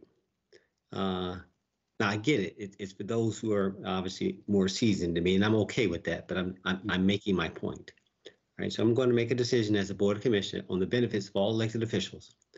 All right, so if I'm going to do that, I want to know the fullness of when does pensions, to make a decision on this one, I want to know the whole story. Okay, Pat. We're gonna open this up, so I want to know when the pensions vest, I want to know when salaries vest. I need a full picture of compensation for all elected officials. Because while I'm in here, I, I, I don't like nickel and I don't like, like, I just, I've been here too long to understand how, like, okay, I need to see the whole picture. So, uh, for me to make a decision, I need that information sooner than later. I, I can't speak for my peers. Perhaps they, they'd like to take a different position. Is there a timetable in which I need to make a decision? In other words, I, I want you to take your time and not shotgun this, but if there's some type of vesting period that we need to meet, but I think to my peers, we need to understand what this means for, for us, basically. What, what are we saying here? Uh, Again, this sort of caught us off guard. This says, and it's not a bad thing. It's like, okay, so something prompted this, and since it opened it up, I want to know everything. Okay. So how can you get me there? Um, well. take you a uh, minute? it- Well, it probably would take longer than, uh, than. A uh, day? You know, period on, on, than a day, correct. So, um, uh, it probably would, uh, involve, uh, Vice Chairman Robinson, us to sit down and have a, a conversation about it. Um, I'm thinking that, as I mentioned, the individuals that it would affect, uh, the class four, uh, employees. So pretty much the judges and, uh, all the, other names that I mentioned. So uh, I could get some, um, uh, some demographic information surrounding those individuals. I'm not sure if that's what you're asking for, but you would, in order to take advantage of this benefit, you would have to reach the normal retirement age of 65. So either you would go into office at a, at an older age, or you would uh, have to serve a, a long number of, of, of terms for, for you to be eligible for this benefit. No, I, and I understand. I'm, I'm obviously one of the young. I used to be the youngest. I'm no longer the youngest, uh, per se. So I, I, I'm, I'm okay. I'm, it, it's not a self deal. I'm, I'm just seeing that I'm not impacted by it immediately. I, I guess I'll take responsibility to say, okay, so what are we saying? So I'm not necessarily after demographic. That wasn't what I was after. I, li- I just know what the financial structure is. Okay. When do we been, when, when, when does everybody, all these elected officials, when, when does their pension kick in? Is it five years, seven years, nine years? How does this, I'm looking for top level. I'm just looking for, Okay. maybe there's something I can take offline. Uh, not certain my colleagues are, um, Director Perry, if we can go offline. and, Uh-huh. uh, and we can have a conversation, but I want facts. I don't want a, a conversation. I need to be in writing. Uh, and, and, and I, if I'm satisfied, I'm okay with tomorrow moving forward. If there's some type of deadline they're trying to make by some fiscal year of the state or the federal, I mean, I'm, I- I'm okay with that. I can't speak for my peers. So I, if, if you can get me there, then I can get there. But Okay. I need what I need. All right. Absolutely. All right. I yield, Madam Chair. Okay, thank you so much, Commissioner. Robinson. Madam Chair. Commissioner Mitchell, I, I have two people. I heard Commissioner Mitchell first and then Commissioner Guider. You could proceed after Commissioner Mitchell. Commissioner Mitchell? And, and I'll be really brief. So, so Fred, just from Yes. a timely perspective, is, is, is time of the essence on this? Or No. is it, It is not. okay, so if, if, we took this offline and took it off the agenda, just so we can kind of get some clarification on a couple of making sure what I'm voting on and what effect this will have on, on elected officials and others, pensions and so on. Mhm. Could, if we did this meeting after next or whatever. It, it, so time is not of the essence on this here. So if we, if we waited just so we can get some clarification, that's fine. That, that, that, that would be fine, Commissioner. Okay. Cause, cause I, I do have some offline questions that I've got that I'd like to ask a couple other questions. So I'm gonna leave it at that and, and wait and, uh, hope that we'll pause, push pause on this and try to figure out you hope answer at least some of the questions that I have, and I think Vice Chairman Robinson and others, but I'll yield back and wait and hope that we kind of take this offline and, and figure something out down the road. Okay. I Thank yield you back. so much. Thank you so much, Commissioner Mitchell. Commissioner Guider? Uh, Yes, ma'am, I agree with the Commissioner Mitchell. We don't know enough about what we're voting on here and the fiscal impact it would have on the county, how it's going to affect the, uh, the elected officials.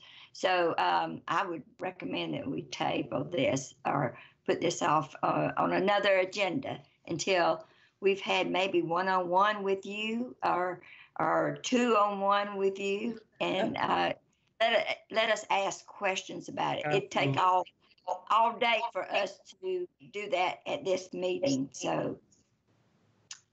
Uh, with that, I yield back. I just concur with, uh, Commissioner Mitchell. Okay, thank you so much, Commissioner Guider.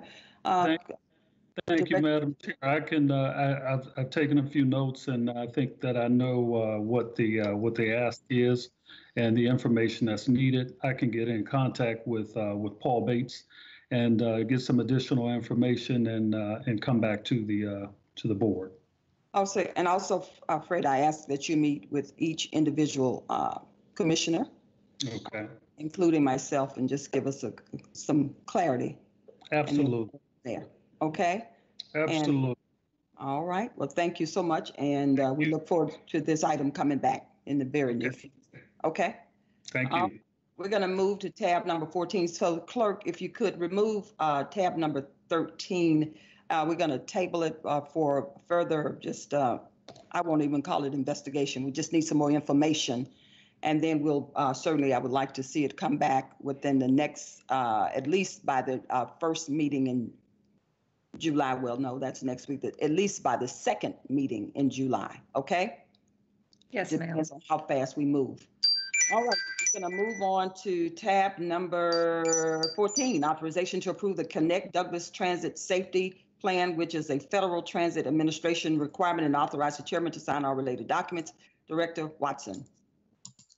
Yes, ma'am. This, this is a new requirement for tra- Federal Transit Administration grantees uh, this year to have a transit safety plan. Here in Georgia, we've been fortunate that the Georgia Department of Transportation has taken the lead on this and assisting all transit agencies in the state in formulating this plan. GDOT gathered information from each individual system, including um, Connect Douglas, and put together a template for us with this information uh, in it. So it has all the required elements uh, that FTA asked for. So we've been working with GDOT on this process for several months now. Uh, we have the finished product, and what we what we're asking for now is uh, the board to officially adopt this uh, safety plan to where we can have Madam Chair to sign it and then submit it back to uh, GDOT by the July the 1st deadline. Okay, thank you so much. Any questions from the board? Sounds pretty self-explanatory. We'll move on. Thank you so much, Director Watson. We're going to move on to tab number 15, uh, authorization to approve the SFY 2021 Aging Services Contract with the Atlanta Regional Commission in the amount of $518,974.99. Reimbursable amount of $483,061.22 and a local match of $35,913.77 and uh, amend the budget and authorize the chairman to sign all related documents. Um, Dr. Gilchrist? Good morning, Madam Chair and Board of Commissioners. Um, First, good morning. First, I would like to acknowledge that today, June 15th, is World Elder Abuse Awareness Day. And to bring to everyone's attention that an estimated 5 million older adults are abused, neglected, or exploited each year. and to just ask everyone to please, please, please support, report suspected abuse, neglect, or exploitation by calling um, the Division of Aging Services at 404-657-5250 or 911. So um, I just wanted to get that important information out there. So the item um, on the, on our agenda is to um, authorize our annual um, contract with the Atlanta Regional Commission. The match is thirty-five thousand nine hundred thirteen dollars and seventy-seven cents. Okay, any questions from the board? Okay, sounds pretty self-explanatory enough. I know your match is in your budget, right? Correct? Dr. That's Hill? correct. Okay. That's correct.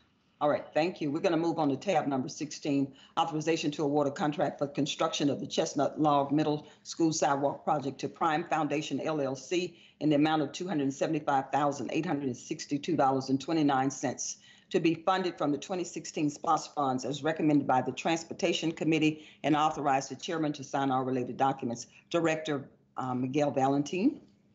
Yes, good morning, Madam Chair and Commissioners. Uh, We're finally at, at the cusp of getting this project to uh, construction. The uh, bids came in, we had a total of six bids. They, they came in well within the budget for this particular uh, project.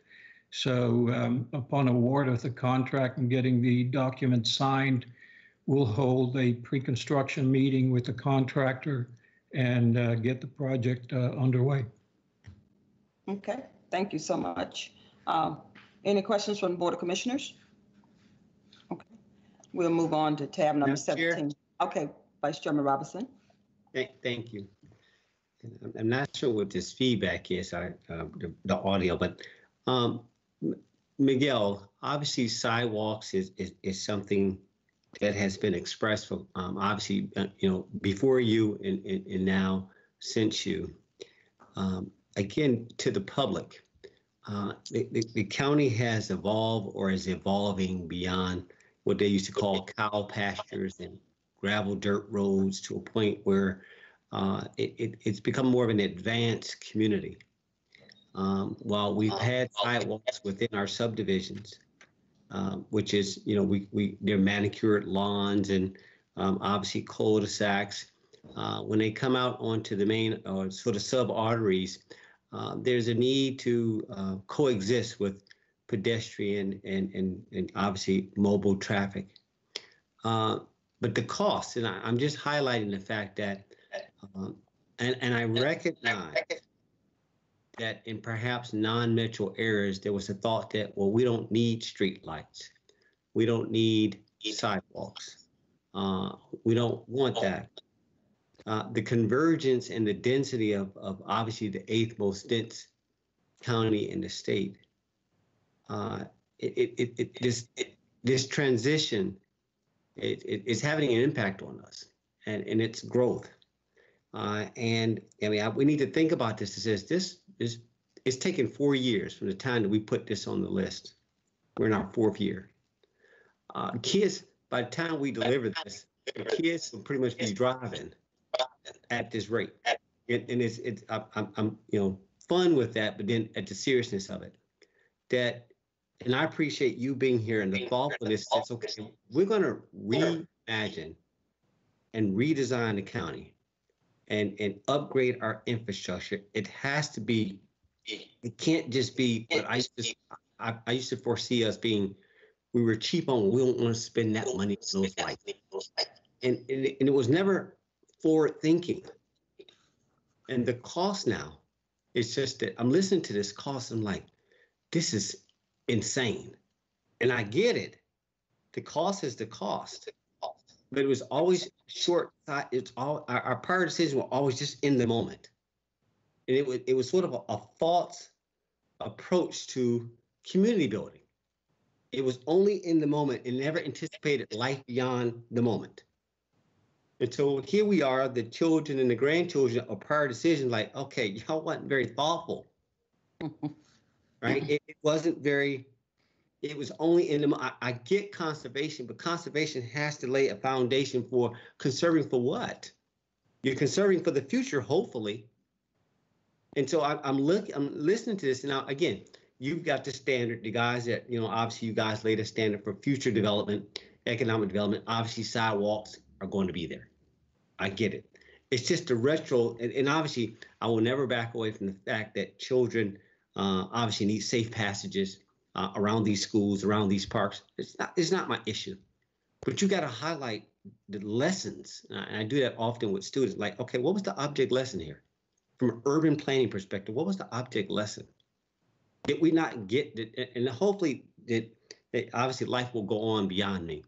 But the point being is that hopefully, you guys are codifying these these these understandings of how a community should be developed, and how it, we can do a better job at, at being more efficient in making our decisions, and that we don't have just these false moments of like uh, uh, this like we're, we're we're saving and that well that's spending and we're just like no Plus one four seven zero nine five five one two eight three.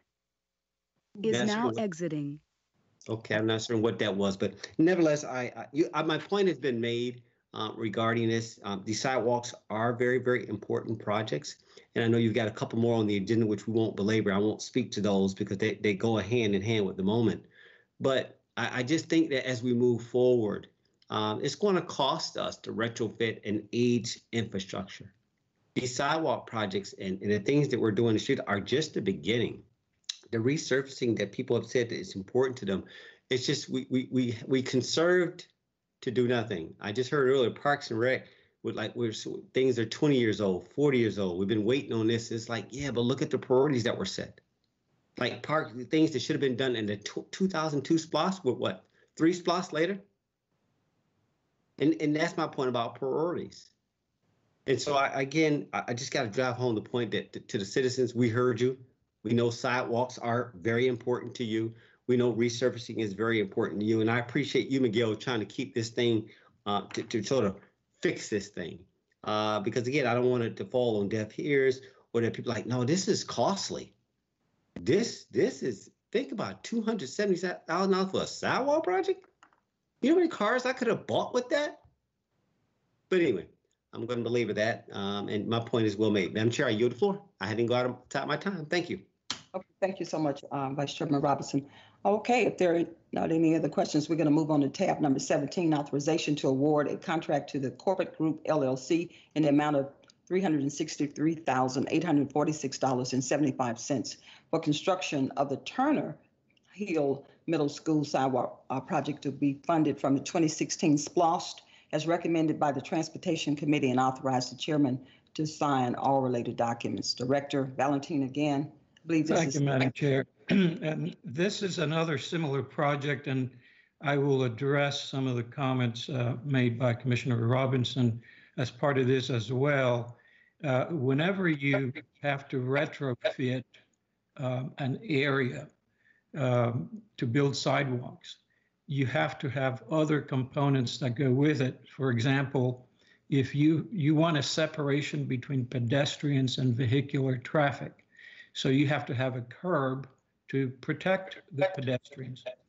So uh, with that then comes in the drainage changes that are necessary. So it is a domino effect. Uh, If the, if the sidewalks go in with the original construction, they would be much cheaper to do. Uh, But as a retrofit, uh, uh, it isn't just the sidewalk, it's the curb and the drainage uh, that goes with it as well. Okay, thank you. Any questions from the board? I'm- If not, I'll move on to the next item. Okay, thank you. We'll move on to the next item, tab number 18, authorization to award a contract in the amount of $1,350, uh, $356,815.35 to Baldwin Paving Company uh, Incorporation for milling and patching of various roads in connection with the 2020 LMIG SPLOST Road Resurfacing Program as recommended by the Transportation Committee and authorize the chairman to sign all related documents. And Director Valentin, could you explain maybe to some of our citizens, milling and patching is required before you resurface. So can you just explain the process to our citizens? Certainly. Certainly. Thank you, Madam Chair. I'd be happy to. Uh, Some of the roads um, are in such a bad state of repair that if we were to just overlay on the existing surface, uh, it wouldn't last very long. It would crack and deteriorate very quickly. So we have to go in to the existing pavement, cut out the bad areas and make the repairs. And then, so we can do the overlay on top of good asphalt. Uh, some of the, the roads, we have to actually mill uh, the surface, and that is a, a process of grinding the asphalt that's there down to a couple inches or inch and a half to two inches. And uh, once we do that, then we have a, a smooth, even surface to put the new layer on top. So depending on the condition of the road, depending on uh, the um, need for patching of isolated areas would be what type of remedial work needs to be done before the actual resurfacing.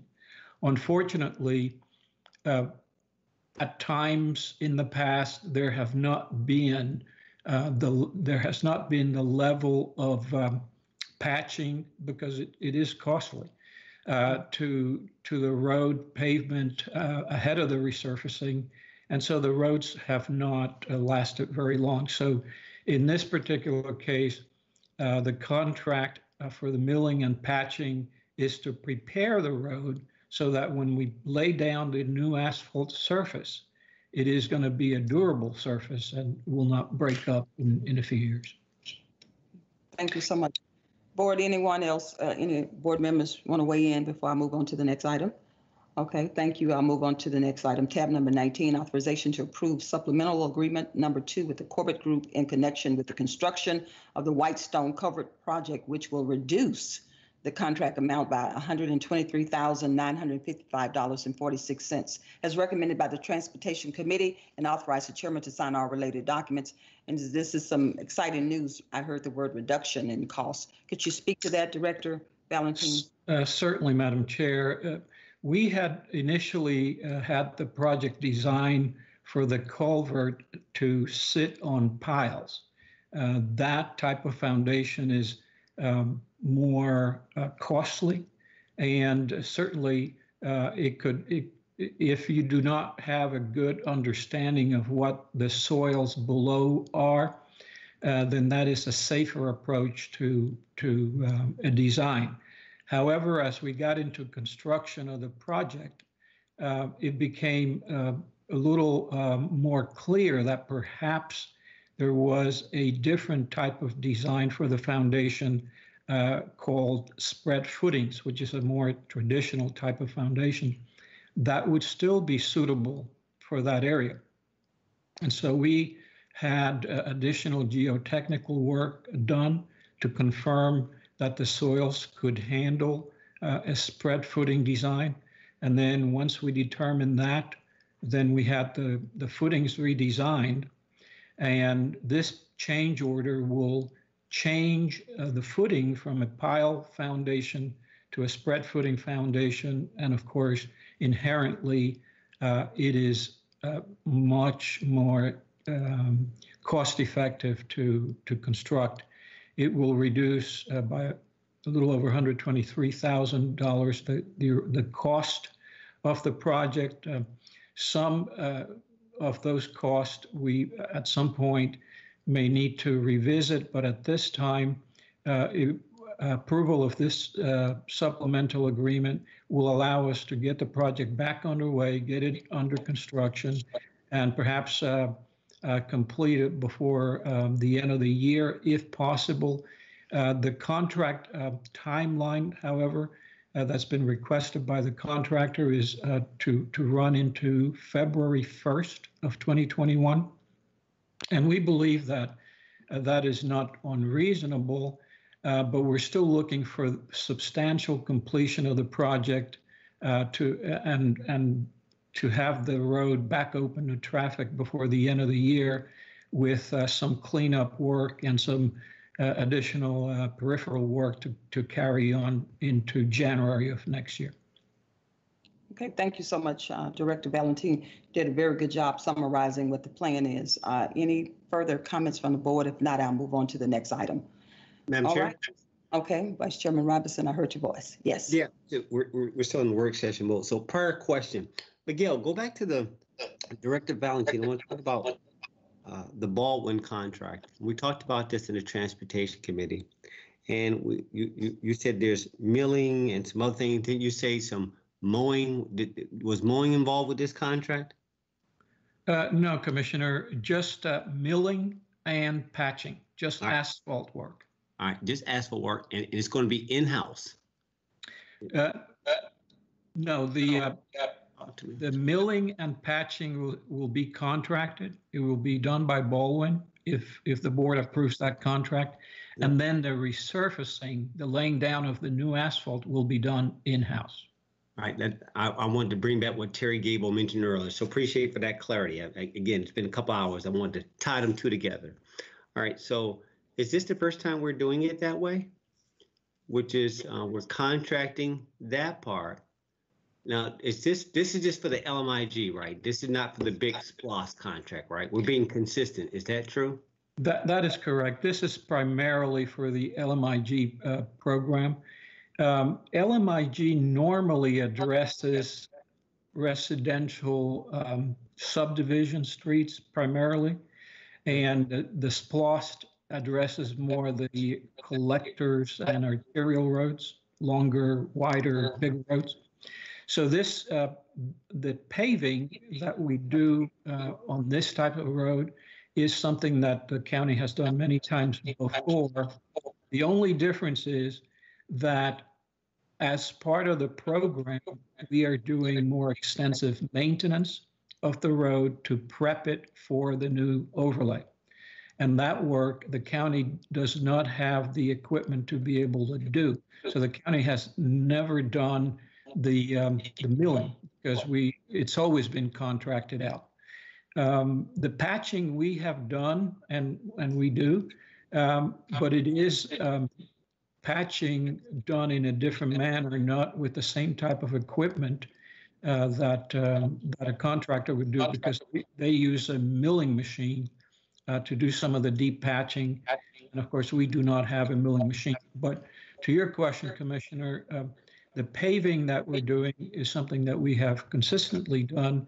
And the uh, milling work and the deep patching uh, that is being done under contract has always been done under contract uh, when we've done the paving. The reason I ask is when you first came on board, what about three years ago? Um, you know, it was it was a, a, philos- a philosophical shift that we we welcomed operationally. How do we approach um, the service delivery it relates to transportation, maintenance of our roads, and I'm constantly listening to, but do we have the capacity to do this and do this well? Um, I, I go back to my Riverside, and you and I have had this conversation uh, regarding our bike lanes. And uh, again, the more I hear, I, I, I appreciate the little engine that could, and it believe that it wants to go do. But does it have the capacity and is this the willingness of this board to put the money behind? Like, okay, yeah, I hear y'all. I know it's going to cost to deliver transportation in a way that I believe that Miguel has a vision, but let's let's not let's not let's make sure that we're really committed to that. Uh, let, let's make sure that we're understanding what what what he's saying. To maintain this is going to require an investment. The citizens have declared, look, okay, we appreciate all that, but when y'all get to our subdivision, you gonna maintain my street? I get it.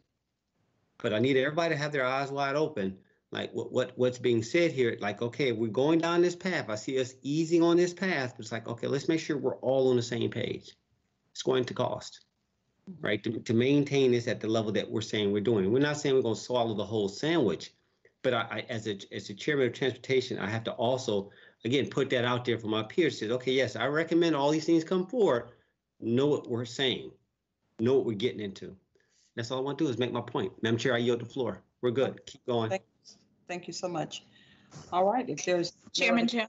Yes, um, Um, Commissioner Car. wait a Yes. I Carthen. do. Okay. Thank you. Thank you for allowing me to speak. Um, Director Valentine, For the past milling and patching work um, that we've spent in the past, do you recall what the amount was? Do you have an estimate or a guesstimate as to what we've spent in the past?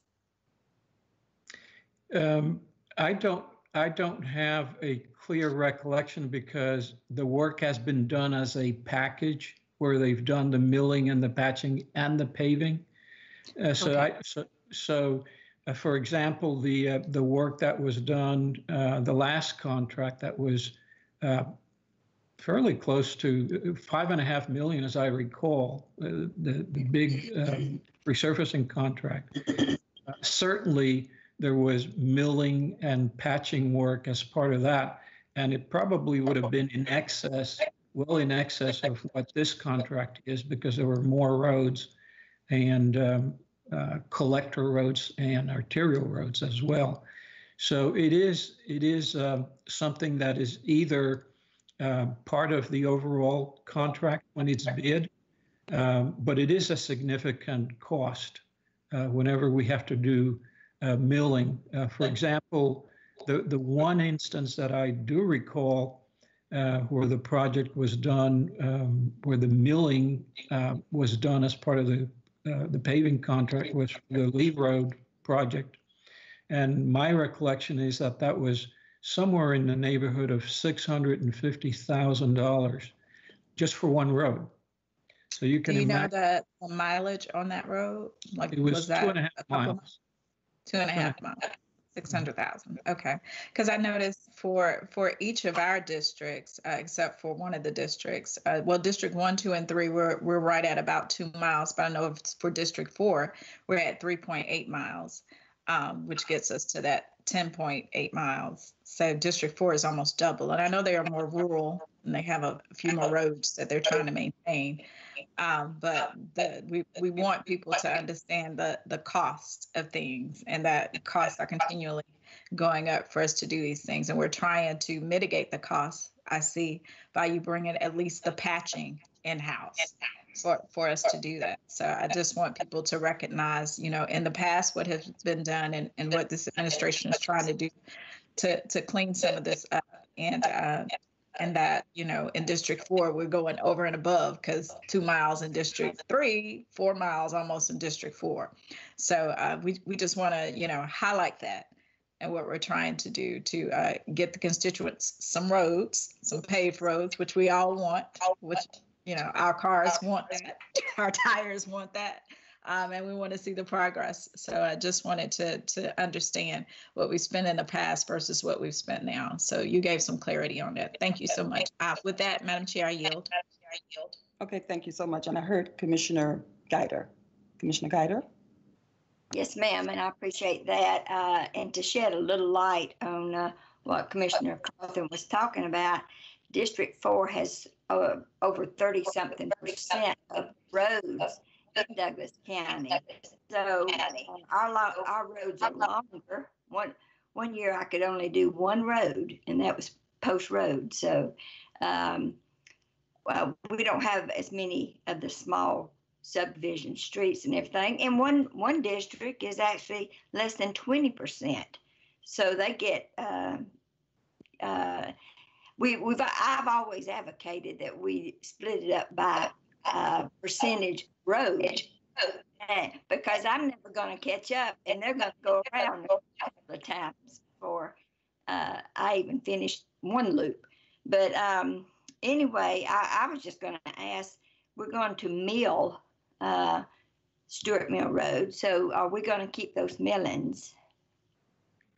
Uh, yes, Commissioner, Is that per contract? it is in the contract, yes. Okay, good, because we always have these dirt roads that uh, we don't hardly do anything, but uh, the millings does help a lot, especially with the washing and um, the dust. So I appreciate that. So just wanted to ask that question real quick. Thank you. I Thank yield you. back. Thank you so much, uh, Commissioner Guider. And I just want to remind our citizens, remind our citizens that a lot of our roads are over 40 years old. They hadn't been paved, some of them hadn't been paved to 20 to 40 years.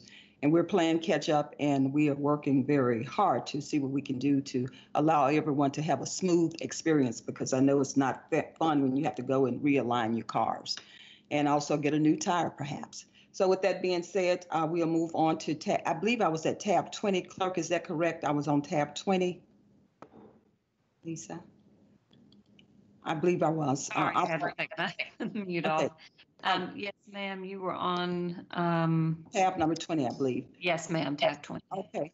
Authorization to approve supplemental agreement number one in the amount of $150,000 with Southeastern Engineering Incorporation for design changes to the Chapel Hill Road intersections and widening project and, uh, uh, project and authorize the chairman to sign all related documents. Director Valentin. Uh, Thank you, Madam Chair. Just, just a little background on this particular item. The uh, original design was intended to have just three lanes, including turn lanes. And uh, when we received the cost estimate from our design consultant, uh, they pointed out that uh, the, uh, um, the cost of doing the full five-lane widening was not that significantly different uh, relative to the cost of doing the three-lane widening. And so uh, we explored that, uh, had some discussion at the Transportation Committee uh, meetings, and uh, went back to the uh, to the consultant and said, okay, well, uh, if we were to do that, what are what is the impact going to be on the design component, if any? And they came back with the fact that the scope changes would require additional survey, and that's understandable. They initially would not have surveyed for an extra lane on either side of the road. Uh, they also, uh, because of a five-lane configuration uh, acting differently, you have to transition back to the existing, recommended that we go to the nearest intersection on the north side, which would be the Annewakee Road uh, intersection. Uh, the other project would have ended a few hundred feet south of there. And then on the south side, they suggested that we consider going to um, to the high school uh, as well because we could take advantage of existing turn lanes and incorporate those into uh, into the project. So this design will give us uh, the final configuration of the road. Uh, and um, what, if if this gets constructed as a five lane uh, as we envision, uh, then there's going to be very little uh, disruption when the rest of the road uh, begins to get widening uh, widened in the future. Okay. Thank you so much, uh, Director Valentin. This certainly is good news for District Three, and I know Commissioner Carthen has worked alongside with you to champion this this moment right now. It's certainly that road is a main vein here in the county. It's highly traveled. It's a huge corridor, and it's one that uh, is utilized by a lot of our citizens to get back and forth to that South Fulton area. So I'm uh, very pleased, and I know Commissioner Carthen is with this. Um, certainly, you're taking this project before, so we could go in and look at the design even further for widening. Board of Commissioners, any comments regarding this project? Yes, Yeah, okay. And our Transportation Committee Chairman, I want to commend him for working all these roads. There's a lot of roads in Douglas County. It's almost 800, well, 750 miles worth of roads, and I'll commend you in just a second, Vice Chairman, but please, you have the floor. No, it's fine. Thank you, Madam Chair. A- Again, I'm gonna, I mean, this is important for Douglas County, and I, I- I obviously, just coming through the season, we just came through and really listening to the citizens and what their priorities were.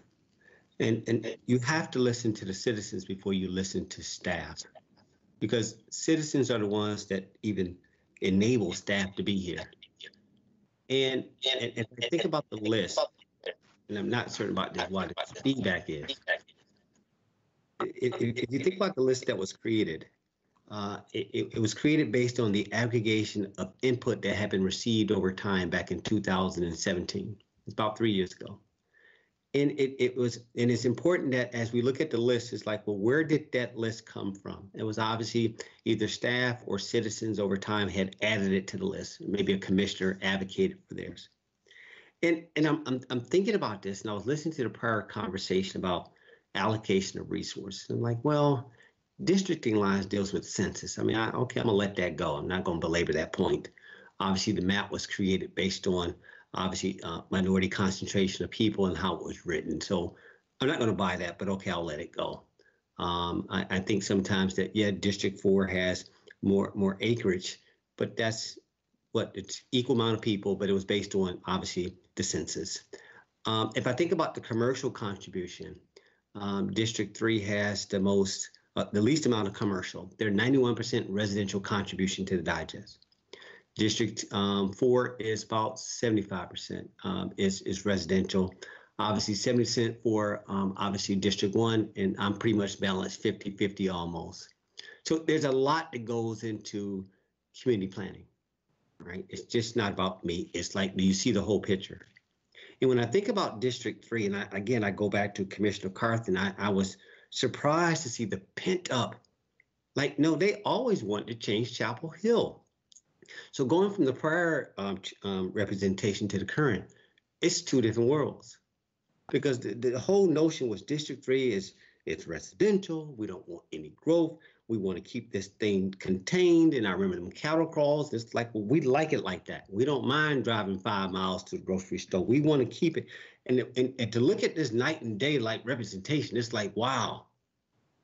It's like watching it pent up. So I'm delighted and I'm, I'm, I'm very pleased to accommodate this. Remember, we changed the list. I mean, we went against the Mitchell rule. No, we added this to the list it was that important. Like, no, District 3 gets to get their representation. And I know she came after the fact, but we modified this because it was that important.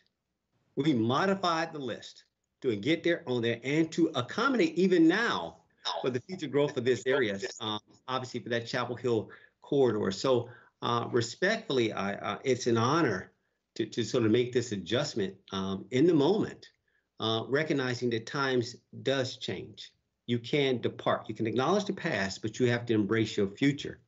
In this moment of transition, and while there's always a cost with everything, uh, and as we go through sort of the, the obviously the process of what they want to call this of construction, excuse our, our mess, it's well worth it. Uh, I, I, think it's important. So I, I wanted to drive home that, that little lesson there that says that I, I welcome it. I welcome this transition. Yes, it's an additional cost. And I just want to leave with this point because I'm, I'm almost out of time.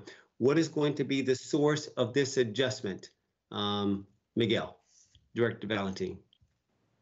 The source of money to make the adjustment for uh, Chapel Hill. Anybody? County Administrator? Miguel, Oh. you- there you I'm are. sorry, go ahead. Yeah, this, this is Miguel. Can you hear me? Yes, we can. Now we Okay, can. sorry. Uh, Yes, um, we, uh, we had s- some discussion about uh, uh, the, uh, where the funding was going to come from at the Transportation Committee. And one of the, one of the projects where we have realized some savings um, is the intersection of Mount Vernon and State Route 92. Uh, Because we were able to, to have GDOT absorb uh, the cost of that project. And uh, this, it, it originally had been earmarked for improvements, and the funding, I believe, was uh, $250,000 allocated to it. So uh, even though there have been some reduction in, in the interim on that project, it, it is still um, within a couple hundred thousand, close to 200,000 in funding that still remain allocated to that project. And so the recommendation is for it to now be um, allocated to, to this particular effort. I just want to acknowledge that, that we, we were able to accommodate that and, and find the funding for this. So uh, again, I just want to drive home that point, Madam Chair. That's all my time. I yield. Thank you. Okay, Thank you so much, Vice Chairman Robinson. We're going to move on, but before we move, I just wanted to mention the fact that we've outgrown our infrastructure here in Douglas County, and certainly this is an opportunity, and I'm excited about all these pro- progressive projects that are coming through. Uh, Certainly wanted to make sure that I commend our Transportation uh, Chairman, um, Vice Chairman Robinson, for doing such a great job working, and I've worked with him along side by side on these roads. And I- it's just appalling to see that uh, just some of them just had not been addressed in many, many years prior to me arriving. And this is so exciting to see our roads certainly uh, get a facelift. And some roads need a filling and others need a root canal. So we are working intensively. So I want to make the citizens aware of that. I'm going to move on to tab number 21, which is another exciting opportunity. We've had citizens, that record some citizens that were concerned about the speed along the Riverside Parkway area and is authoriz- uh, authorization to adv- advertise for a public hearing for the purposes of amending Code Section 14-74 speed limits to reduce the speed limits on Riverside Parkway and State Route 92 uh, slash 154 and 166, and authorize the application for amendment to the county's radar permit to allow enforcement and authorize the chairman to sign all related documents. Director Valentin, please. Thank you, Madam Chair. Uh, uh, As you mentioned, uh, this will facilitate uh, reducing the speed limit on those roads, uh, State Route 92 and Riverside Parkway particularly. Um, One additional benefit to just having um, a speed reduction, which should yield a, a safety improvement along those corridors, is that uh, our sidewalk project on on um, State Route 92 uh, for the high school uh, sidewalks um, had a component uh, of a crossing uh, signal for pedestrians, um, uh, referred to as a as a hawk signal. And uh, when we initially submitted the plans to GDOT, they, they would not approve that the installation of that signal uh, because the speed limit on the road was too high. And so we had discussion with them and we said, we concur, the speed is too high. And uh, we've been trying to uh, get it reduced for a while. And so we, we had several discussion sessions, in, uh, iterative process, but finally they have um, allowed um, the process to move forward, indicating that they will in fact support uh, this application when it comes back before them, uh, because this this um, element has, uh, or this particular project has uh, two elements. One is the speed reduction um, to facilitate the, the project crossing, but also because the speed is going to change, there has to be an application back uh, through the uh, Division of, Public Safety at the state level for the radar permit to be amended so that the new speed limit can be uh, enforced, uh, the lower speed limit. So uh, we've we've been in communication with the sheriff's office, and and uh, so this will facilitate um, once we go through that public hearing process and and um, changing the code um, to reflect a lower speed limit, uh, then we're able to move the process forward, install the signage, and uh, enforce the lower speed limit. Okay, thank you. Thank you so much. Any questions or comments? Okay, thank you. I appreciate your iterations of uh, work and deliberations with uh, GDOT to move this project forward, uh, Director Valentin. You have one more, last but not least, which is 22, authorization to approve a resolution designating the intersection of Douglas Hill Road and Factory Shoals Road as an all-way stop control intersection. Director Valentin, if you could explain. Yes, uh, thank you, Madam Chair. The, the intersection um, is in an area that up until recently had really one paved road, and that was Factory Shoals. Um, Douglas Hill, uh, as it intersected with uh, uh, Douglas Hill Road, as it intersected Factory Shoals, uh, just to the west of um, Thornton Road, uh, was a dirt road up until six months ago. And the northern portion of that uh, had been also a, a dirt road um, and was only recently paved. Uh, but while this work has been ongoing, there have been um, development of regional impact, large commercial industrial development that has taken place in that area.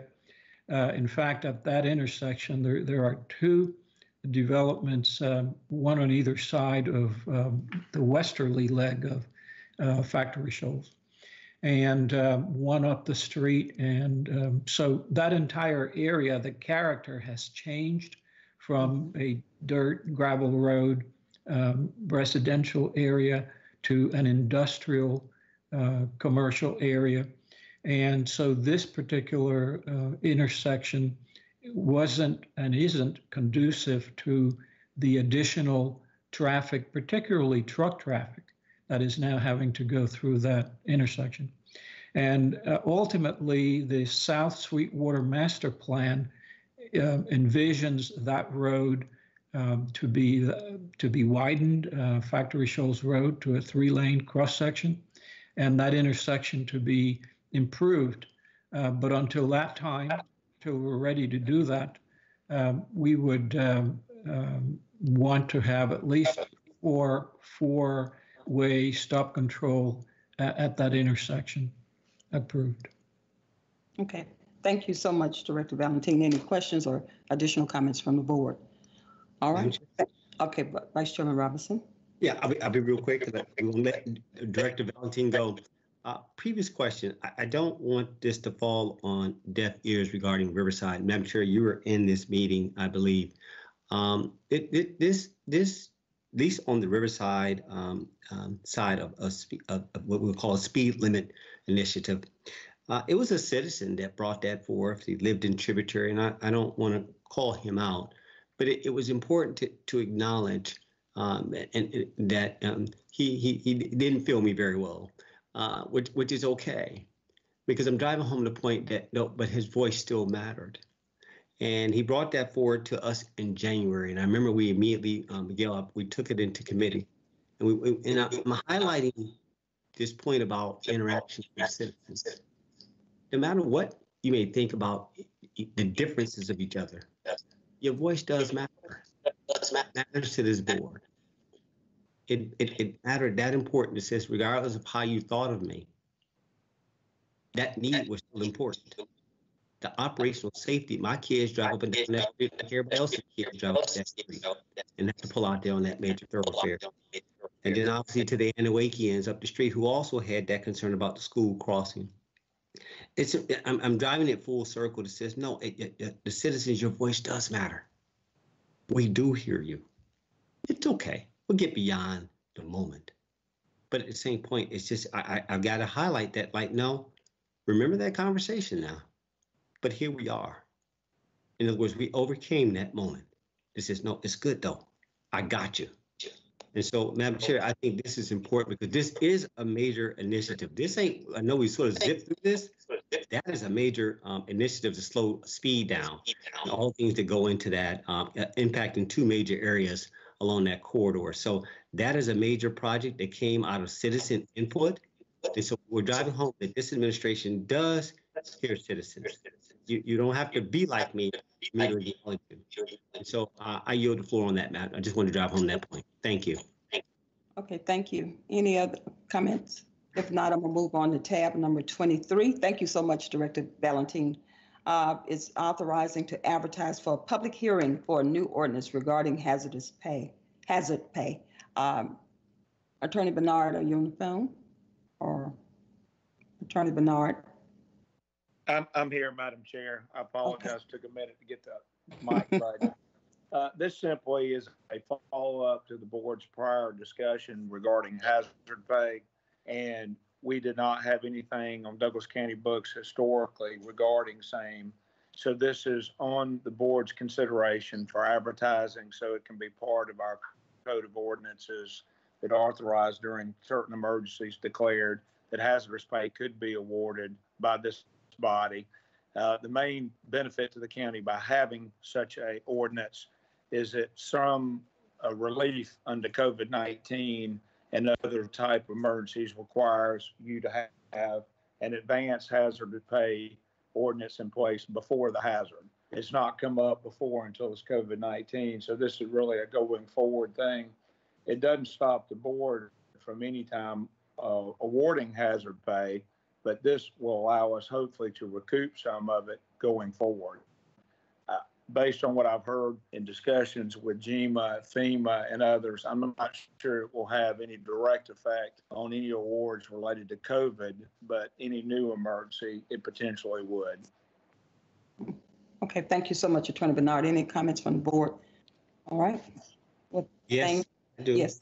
Uh-huh. is, okay. Thank you, Madam Chair. So hazard pay.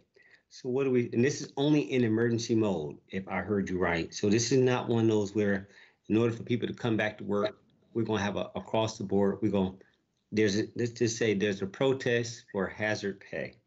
In other words, like, come back, we're gonna order everybody back, we gotta pay this hazard pay. And so the difference between our normal operating budget and this new demand to get people to come back to work, uh, we're saying that the, the state or the feds is gonna pick this up. What, what am I listening to, Ken? I- And I'm framing something. I want to make sure I understand what, what, what, what I just heard, please. Okay. This has nothing to do with any current award of hazard pay, and it has nothing to do with people coming back to work. There's no outright requirement that you ever award hazard pay.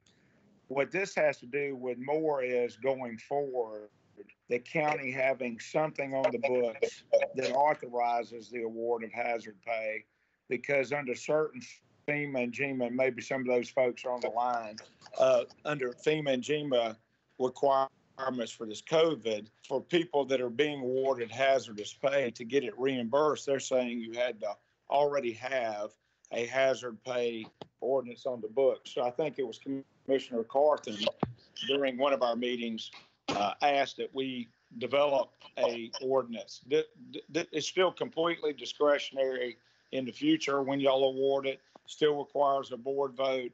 Is not a requirement. Is a condition of employment. Nobody has a right to hazard pay unless the board actually gives them hazard pay.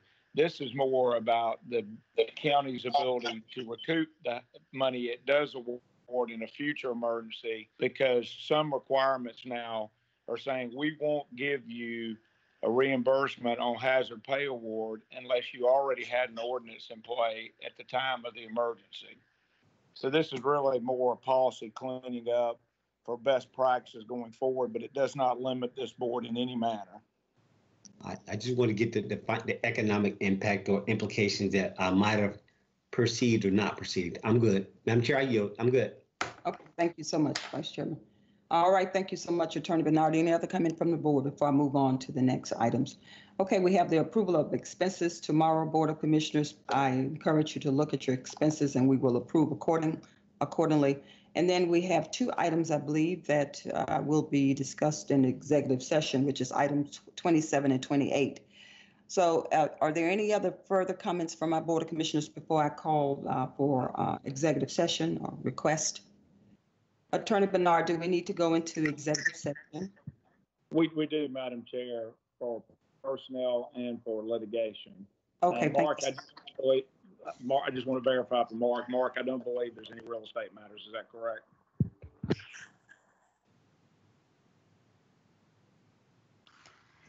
Yes, that is correct. That's Okay. correct. There is still one other discussion item that we may need to cover before executive session for Ron Roberts. Okay. Which, which one is it, Lisa? Is it 27 or is it an additional item? It's the, um, hold on, let me pull it back up here. It's number 27. Okay, the okay. I just, Annexation. okay, let me go on to, we have one more attorney before I call for an executive session. It's tab number 27, which is the city annexation of parcel south of Arbor Place Mall. And I believe it's Ron Roberts, uh, or Phil Schaefer is on, on the agenda. I've got it, Madam Chair. Okay, thank you. So the uh, annexation came to us a couple of weeks back. It's 126 townhouse apartments located just south of the mall off Reservoir Drive. The uh, development itself represents a 12.89 dwelling units per acre on this property. And I just wanted to bring it to the attention of the board because a Reservoir Drive, portions of it will remain county zoned.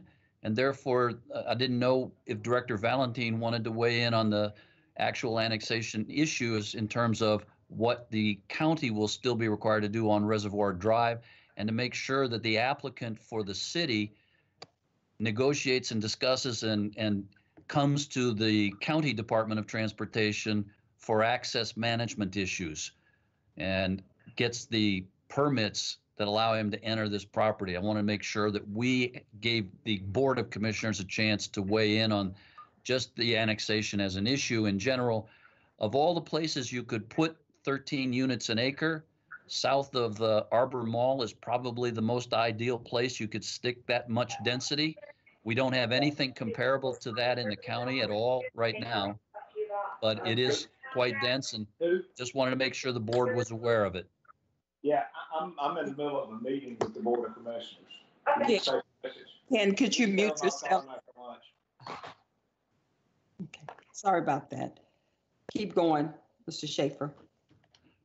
Yeah, that, that- I'm open for questions. Uh, we, we just, um, learned this morning that it was hundred and twenty-six units for the twelve acres or hundred and, yeah, hundred and twenty-eight units for the twelve acres. And just to make sure the board knew that it was townhouse development. Okay. All right, any questions or comments from the board? Yes, yes, Yes, ma'am. Commissioner Guider, this is your district. Yes. As- As is the mall. Yes. Um, I just uh, am concerned about Heritage Drive uh, field. Uh, That's a residential, uh, s- small subdivision. And so they, the people there want to make sure that uh, the access to all these townhomes is not going to encroach on their road, their little private, uh, it's, it's not a private road, but it's a, a like a cul-de-sac area. Right. And, uh, they, they can't stand the thought of that much traffic go- going in and out. Now Reservoir Drive, uh, it goes out on the little road that goes back behind Arbor Station.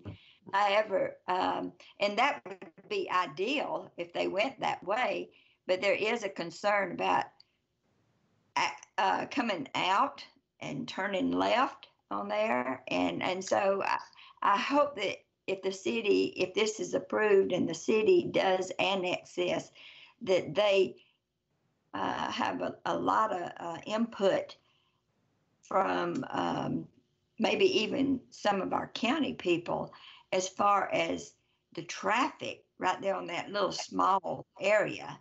And there's little roads coming out in all different directions right there. And Right, uh, yes, you're, you're right. That, that's why we, I, I, if, can you see my screen that I'm sharing? yes, Okay, so Heritage Drive does not communicate with the property that is in question. The property in question is going to be surrounded by RLD right here. It, it only accesses Reservoir Drive. All the rest of Heritage Drive is Well, I- developed. because uh, I think the people that are going to sell this property, they do have a, um, a house or access that is contiguous to the RLD. Okay, So, uh, and there's, there, it's been said in the past that they might want to use that as an exit or to property once they sell it. So, uh, it is, it may be a concern to the people that live on Heritage Drive and, and the little offshoots of the little cul-de-sac roads there. But, um, just, uh, coming off of res, with the exit and uh, entry being uh, Reservoir Drive and it connecting to the little small road that goes back behind the the mall. And then you've got all these other little side streets coming out also. It's going to be uh, it may require a red light or something but it's going to be a very dangerous pullout if there's not some uh, infrastructure put in there. I will, re- I will, if, if it's the board's desire, I will absolutely convey your concerns and the residents' concerns to the city council and to the director over there, Ms. Williams. Uh, I would like for you to, uh, you know, voice our, our concerns about it, especially for the residents there on uh, Heritage Drive, but also just the congestion that's gonna is gonna cause coming out on that little road without further infrastructure. Does that make sense? Maybe a, a different, another turn lane, or uh, um, Well, I, I think. a yeah, red light, or On your behalf, well, uh, on your behalf and on behalf of your, your constituents, what I would suggest that there be n- no communication with Heritage Valley Drive at all, that the, all the access be off, off Reservoir Drive. Well, I have been contacted with, by some people out on Heritage Drive, and what I'm saying is the people that are selling this piece, this large tract of property, also owns a house at the end of Heritage Drive. Uh, and it was his idea at one point of having a connection to the larger track. You're correct.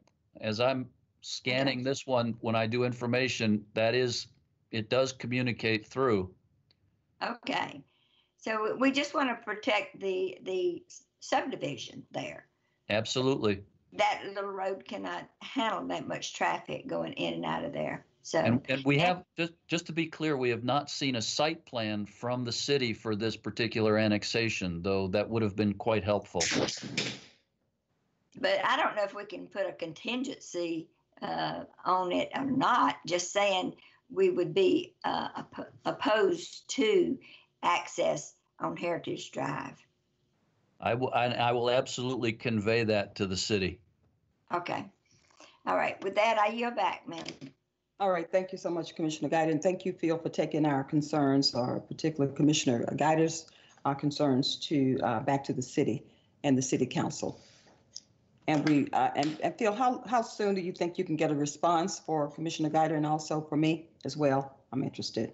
I, I will have a letter prepared this afternoon. Okay, certainly we want to hear the voices of our, of our citizens with regard. Chairman, Yes. Uh, I, I do have a question. mhm. Yes, thank you. I have a question for um, Director Schaefer. Can you also tell us how this will impact us? Because if we still have land in that area that the county is responsible for, uh, is how, how are we going to divide that with the city? Because it seems like they want to annex everything, but we also, if you go annex it, we want you to pay for for what you are are doing. We don't want that to be on the backs of the of the county taxpayers. If you're going to take some, if you're going to annex property. um, Correct. And, and I, my difficulty here was when we received the packet of information last week, they did not include the information on the development. And this has been an ongoing struggle with the city staff attorney, where we get the annexation only, we get the zoning district that they're requesting, but we do not get the details of the project. Um, this has been a problem. The, the issue blew up on Blair's Bridge with the commercial annexation last year of an, and, then the construction of an 80,000 square foot building where Blair's Bridge is county maintained and Lynch Road is not. And so when they came to the county, they realized they had to come to the county for an access permit. They couldn't get one because of some other issues with the sewer lines running through Blair's Bridge. So here again, we don't have enough information about what's being proposed so that I could give you or at least talk with Director Valentin to discuss what is the implications for uh, Reservoir Drive, because you're correct. There will be a segment of that road that is half in the county and half in the city. And when it's half and half, we have to have an intergovernmental agreement as to who maintains that road. And I honestly don't, I can defer to Director Valentin as to what, what the status of Reservoir Road is, because I don't know. But I would have preferred to be able to say, well, 128 units on 12 acres, that's a significant impact. And there's going to be maintenance ongoing for that road. So if that's part county and part city, what's the status in terms of the intergovernmental agreement for that roadway? Ma- Madam Chair, Yes, uh, can I, can I jump in on that point, uh, Commissioner Carthen and the rest of the board? H- Yes. Here's my suggestion on this. My suggestion is there's too many unknowns not for us to go ahead and direct Phil to file an objection with, with the state. While I will tell you, the law is very, uh, broadly favors cities' ability to annex. What will happen in the process of us filing an objection is these kind of details will be brought forward and hopefully negotiated.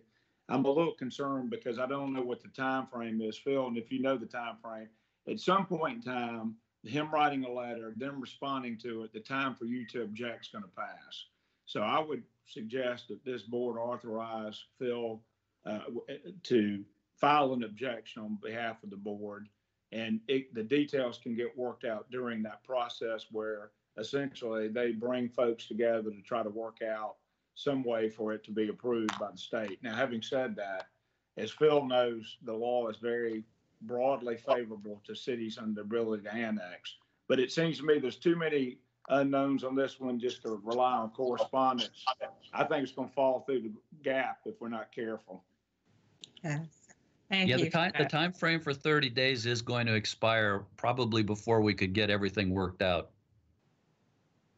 Right. Uh, Commissioner Madam Chair, I would, yeah, Madam Chair, what I would do is just, uh, with the board's permission, put under new business, uh, and Phil can do the write-up, because I don't know the, par- I don't have the parcel in front of me.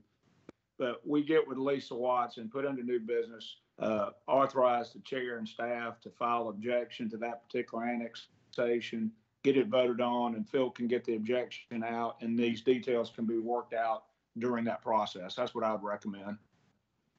Okay. Um, I'm not sure if we want to take it all the way to the line of an objection. I believe we wanted just some more research, uh, county attorney. Uh, and wanted Phil to bring some information back, particularly to, to Commissioner Carthen, I mean, not Carthen, but Commissioner, uh, Guider. So if the board, I don't know what this board, I, you know, whatever the will of the board is, I would do, but I was just thinking we wanted some more research. Um, just needed some clarity. So could one of the board members weigh in and then we'll go on from there? Yeah, Madam Chair? Yes, Vice Chairman Robinson. Yeah, again, I'm going to be, I'm always going to respect home rule for, uh, obviously the district that this resides in. But there is a historical that we don't have to accept this. We can say no, we can object. And, and to Ken's point, they have authority to do what they do. The, the question becomes, is it worth that on this project? Right? Let, let's not, let's not lean us one way or another. We can say no. And they can still move forward with their power as a municipality. Right? Let, let's not confuse the, the, the two worlds. Um, I'm, I'm, I'm, I'm listening to see what my peers really, uh, to your point, is, is there a real issue here? Um, who's going to maintain? I mean, uh, obviously, at some point, we're going to get into service delivery and all that stuff. And I, I, this is just a precursor to the capacity to be able to like, no, don't, no, don't give away your power now. Is a precursor to that. Like, okay, who does what? Right. So you're going to drop this on us, and what, what's that impact going to be on us? You shotgunning this? Yeah, you, you have to pay attention to the process. You got to know what we, what you're looking at with this. And so, um, to my board, again, I'm with my peers. However, y'all want to handle that, y'all know I am very comfortable with a no, recognizing I respect their power as well. This is not an issue, but we we do have the right to understand. Okay, but what's about to go here? Especially if we have to now incur something, the residual back on Chapel Hill, which we now own, or wherever this is going to come out at. Again, those you guys are closer to this than I am, so uh, I I can't call it, but I'll back you 100%. Madam Chair, I yield. That's it. Okay. Thank you. Thank you. And uh, Commissioner uh, Guider, certainly want to hear your, your stance and then we can move forward with, Well, uh, my suggestion would make, make it imperative that they take over that entire road. Uh, you know, that be annexed to. Um, but, uh, we just need to watch this very closely because, uh, of the traffic problem it's gonna cause. But, uh, there's gonna have to be some infrastructure added out there on that little uh, connector road that runs behind the mall. Uh, that road is not uh, big enough. It, it's only a two lane road, except for a little turn lane. But uh, it's a very dangerous area because people are, there's a hill there, very steep hill. and it's hard to see coming out of some of the other roads there. So we just need to uh, make sure that there's some infrastructure put there. Red light, I, I think it's going to have to be a red light, to be honest. But I do uh, think that the city should take the entire reservoir road or street over with this. That's just my recommendation. okay, thank you so much, Commissioner. Board Commissioners, what we'll do, it sounds like it's a consensus right now because we wanted some oth- other um, things added to this uh, proposal from the city. And uh, certainly um, Schaefer, Phil, if you would just certainly just take that back to the city as well. Uh, Right now, um, with the objection, certainly, that gives them latitude to um, give us some more information and state the concerns that Commissioner Guider has just um, run past this board, and then we'll go from there. Okay? Ma- Madam, Madam Chair, can I just clarify? Yes. It's one thing for Phil to write a letter to the city asking about his concerns. It's another thing to file a timely objection. What I think I heard Phil say is the time for filing a timely objection with the state will run before y'all meet again. Are you simply wanting him to inquire and just leave it because the time's gonna run? Or we're we gonna file an objection and get it worked out during the settlement conference where they bring all these issues forefront and try to work it out? I, I prefer him to send a letter. I think that'll just be a, a way, so we can certainly, I think all of us are in agree, in agreement. We want to move the, the county and the city forward. So Okay.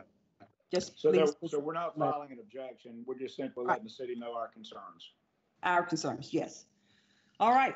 Board Madam Chair, I don't, I don't agree. I, I do have to express that I don't agree. I think we should, just to protect ourselves, file that objection and allow them to come back. Because if we don't, and then we find out that it really is, um, it's on us and that they annex it and then this property owner starts doing and digging and then they're gonna come back to us asking us, well, can you maintain this? Well, can you do that? I, I think I think we protect ourselves if we go the route that Attorney Bernard just stated. Um, and and it's just in good keeping with making sure that we protect ourselves. So um, I just wanted to voice that that I think we should file the objection. Is it all right? I'll, I'll make one comment to Commissioner Carthen. The, the issue of protecting ourselves still falls on the Board of Commissioners. You do still have an access permit issue off of Heritage Drive, Valley Drive, because that is still in the county. And therefore, mm-hmm. Director Valentin would get the ability to say, no, we don't believe this should communicate through this subdivision that is still out in the county. So the issue would fall back on the city to have an arrangement with the county on Reservoir Drive as the only in and out for this 128 unit development, rather than allow this owner to come through his single family residential property in the subdivision. To do that, to take that lot in that subdivision and run a road through it is going to require them to, to discuss access management with our DOT. And I, and Director Valentin can weigh in if he wishes, but I believe he has absolute authority to say yeah or no, yes or no at the moment they come through for development review, because they would still have to go through our DRC process if in fact they do wish to access back through the county. Uh, Madam Chair, this is, this is Miguel. Um, If I may comment on, on this item, uh, I think all of the concerns that have been expressed are very valid. Uh, Typically, if we were looking at a site plan of that density in the county, we would be looking at infrastructure improvements within the roadway immediately in front of the subdivision and at an intersection with another road down the street. So um, in this particular case, if the county has part of the road, then the infrastructure improvements at the intersection would fall on the county. And we would not have the ability to um, put that back on the city. Uh, so the, the, that is a legitimate concern that whatever improvements are uh, associated with mitigating the impact of the development should be borne by uh, whoever has jurisdiction on the road. In, and in this particular case, unless the uh, the jurisdiction of the road is negotiated or made a condition of uh, the annexation, then it would fall uh, certainly on the county. The other item that uh, that Phil mentioned about the connectivity to Heritage Drive, uh, certainly a site plan would come back to the county, and we would have the ability at the DOT to look at it and make uh, recommendations as it relates or deny uh, as it relates to that access. Uh, however, something of this significance, uh, it could be that uh, a subdivision that dense can only uh, be done if it has multiple access points, unless there is infrastructure improvements done on, on the main access road. So, um, so th- those two items, if it came back to the county DOT for review after the fact, uh, we certainly would uh, review it and make comments about the the feasibility or uh, the wisdom of, of that connectivity. Uh, certainly, they would uh, have a discussion with the board at that time as well. Okay. So you sound, uh, what I can hear from um, you, uh, you're just, what you just said, um, Director Valentin, is certainly we have some leverage. I guess when the document comes back to you, you have an opportunity to weigh in and determine which way we go at that time. Is that what I heard? I want to make sure. Well, certainly we will have the opportunity to do that, but we will not be in the same position. Uh, I, I think that uh, if, if the objection is filed, then we, we have uh, certainly a lot more leverage to have uh, discussions with them. Okay. All right. Well, sounds like a consensus. Commissioner Carthen, I know what you're, you're, yes. Commissioner Guider? Yes, um, Miguel, I, I'm thinking that we should require them, or if, I, I don't want to turn the project down because it is, uh, uh, something that, uh, you know, that we've talked about this, we need, uh, more housing, uh, lower income housing and stuff like that. But we've, we've got to, um, require them to take over Reservoir Drive uh, in its entirety because we don't want to have to fund the entry to this. If it's going to be in the city, it should be on them. And if we could stipulate in the um, negotiation or whatever that we that that we require them to take over that road uh, in its entirety in any infrastructure that's going to be required. So uh, I don't I don't like the fact that we may end up paying for a road that is just benefit to the city. So Uh, Yes, uh, I'm sorry, Commissioner, I I didn't mean to cut you off, but, but, um, uh, yeah, to your point, those, those requirements, uh, we could not impose those requirements on the development unless it was within our jurisdiction. So uh, it, it- would seem that uh, with those concerns, um, filing an objection and then trying to negotiate would be uh, the way to, to uh, potentially have some discussion about that. Otherwise, the entire property would be in the city and we would have the jurisdiction on a section of the road uh, with no ability to enforce improvements on. is it imperative that we use that road, make them cut their own road? We could just close that road as, as it is in the county. I don't, I don't want us to have to pay for something, uh, this large and this expensive because we don't know what kind of infrastructure is going to be required out on that little service road back behind the, uh, mall. And, uh, that could run into big bucks that we don't have. And so I just, um, think they either take the road or we just close the road and let them build their own road.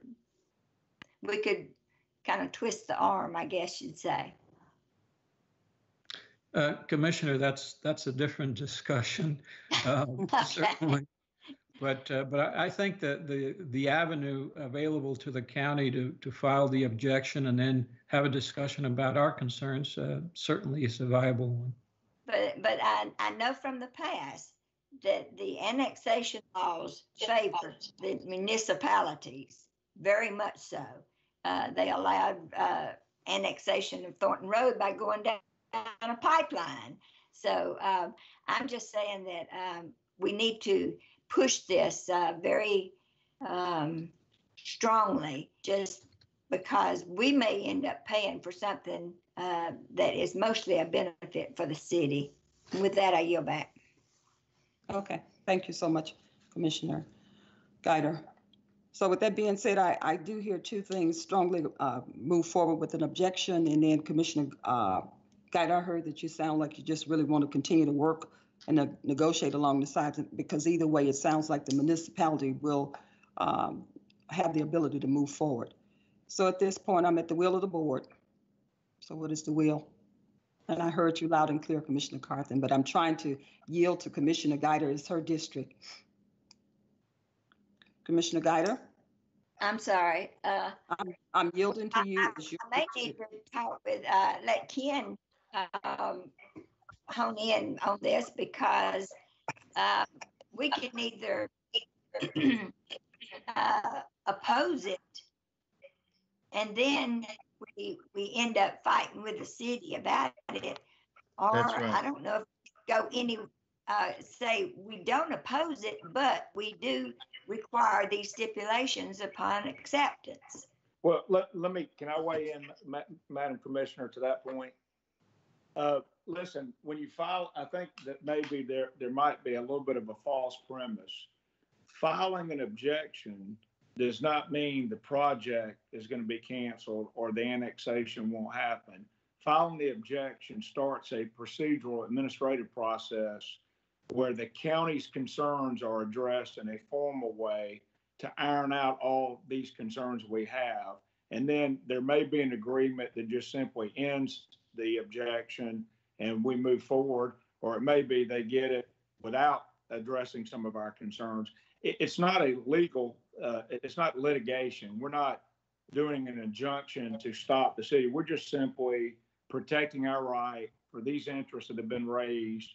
And the process will air these out. And actually, the process may be helpful to the city because it sounds like some things that have been said today in this meeting will be brought to light that may be a concern of theirs because they got to get phone calls too when that corridor has, if they have issues with traffic. So I'm just suggesting file the objection. It can be withdrawn later if need be.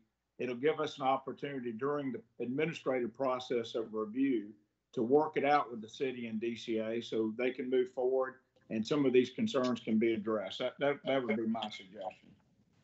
Okay. And I would go along with that. Okay, thank you, uh, Attorney Bernard, and thank you, um, Commissioner Guider, and thank you, uh, Attorney Bernard, for the clarity. We're going to move forward with an objection, and, and certainly we'll wait on some responses, and then that'll gives us opportunity to, to uh, gain some clarity on some of those concerns. Perfect. All right. That can, hey, Phil, while Phil's, Phil, Phil, will you get with Lisa Watson about how that needs to be worded on the agenda for tomorrow, please? You bet. Thank you. Okay, thank you. All right, Board- Board of Commissioners, now we are moving to the moment of an executive session. Um, Attorney Bernard has just announced that we do, do need to go into executive session. Board of Commissioners, do we have a motion to go into executive session? So moved. Second. We have a motion and a second. Any discussion? We have a motion and a second. All in favor, please indicate by saying your name. Romona Jackson Jones, yes. Kelly Robinson, yes. Commissioner Mitchell. And yes. Jones Guider, yes. Tarenia Carthen, yes. Okay, we have a 5-0 unanimous vote and the motion carries. Okay, we will sign off and uh, Mark, you will call us back, correct? No. Yes, ma'am. Just keep your Microsoft Teams on and I'll call you back. Okay, thank you. So we, we sign off? Yeah, well, no, you don't sign off. You just, Yes, sir. You, you hang up and Mark will call Yeah, you hang- back. yes, he's going to call you back. Okay.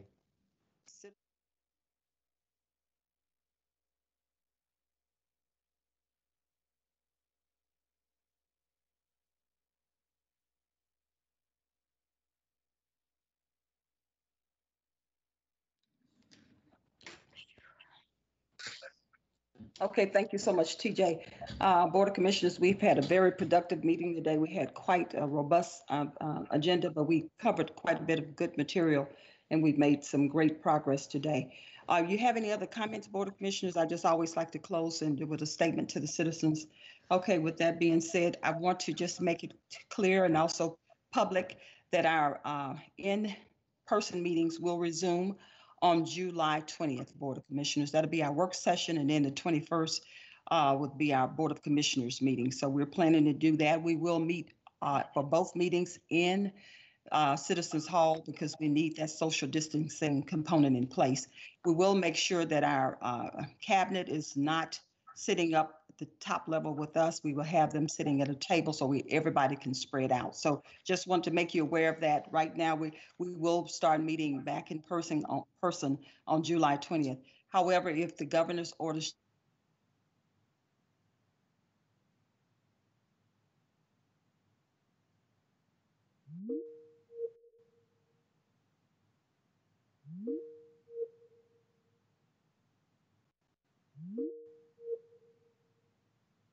uh, and also cleaning hands and also um, those things that are relative to COVID-19. COVID-19 is still active and I know we're moving into our third month, but it's, it's very easy to forget where we are.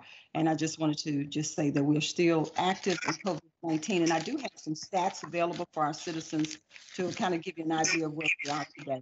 Today, we have five 57,681 confirmed COVID cases in Georgia, which 655 of those cases are confirmed here in Douglas County. We have 9,200, uh, we have 2,451 deaths and 28 of those deaths are associated with Douglas County. We have 9,248 hospitalizations, or should I say previous hospitalizations. And uh, Douglas County, we had uh, 147 were related to Douglas County. And total uh, uh, ICU, which is intensive care unit uh, admissions, was 2,034 for the entire state. I want to remind again our citizens to continue to be aware because we are still fighting this invisible virus and we need to remain disciplined and disciplined and diligent as we go forward. So uh, masks are highly recommended if you're out and about. I was in the community this weekend and noticed that it was about maybe 60 to 70 percent of uh, our citizens wearing masks, and certainly it's highly recommended. We cannot make you do anything. That's your First Amendment right, but certainly uh, just wanted to encourage you from a healthcare perspective, and because of my knowledge and background, if you could protect yourself and others. Also, hand washing is critical as we go forward. Continue to wash your hands. And uh, uh, Commissioner Mitchell had a birthday uh, background earlier, and I wanted you to just remember the birthday song. Just continue to think about the birthday celebration song when you wash your hands. And also, your uh, social distancing is very important. We want to continue to do that. We call it physical distancing because we all like to be social. And the virtual, uh, I just encourage you to continue to use your virtual technology um, because again, I, as I said earlier, this too shall pass, but we're still in the midst of trying to get over the, I took, I call it, we're trying to get over the 50 yard line and we're just not there yet.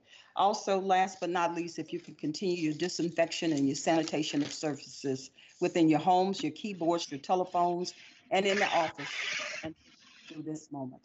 With that being said, Board of Commissioners, if it's nothing else, I would certainly, this meeting is adjourned. Thank you so much.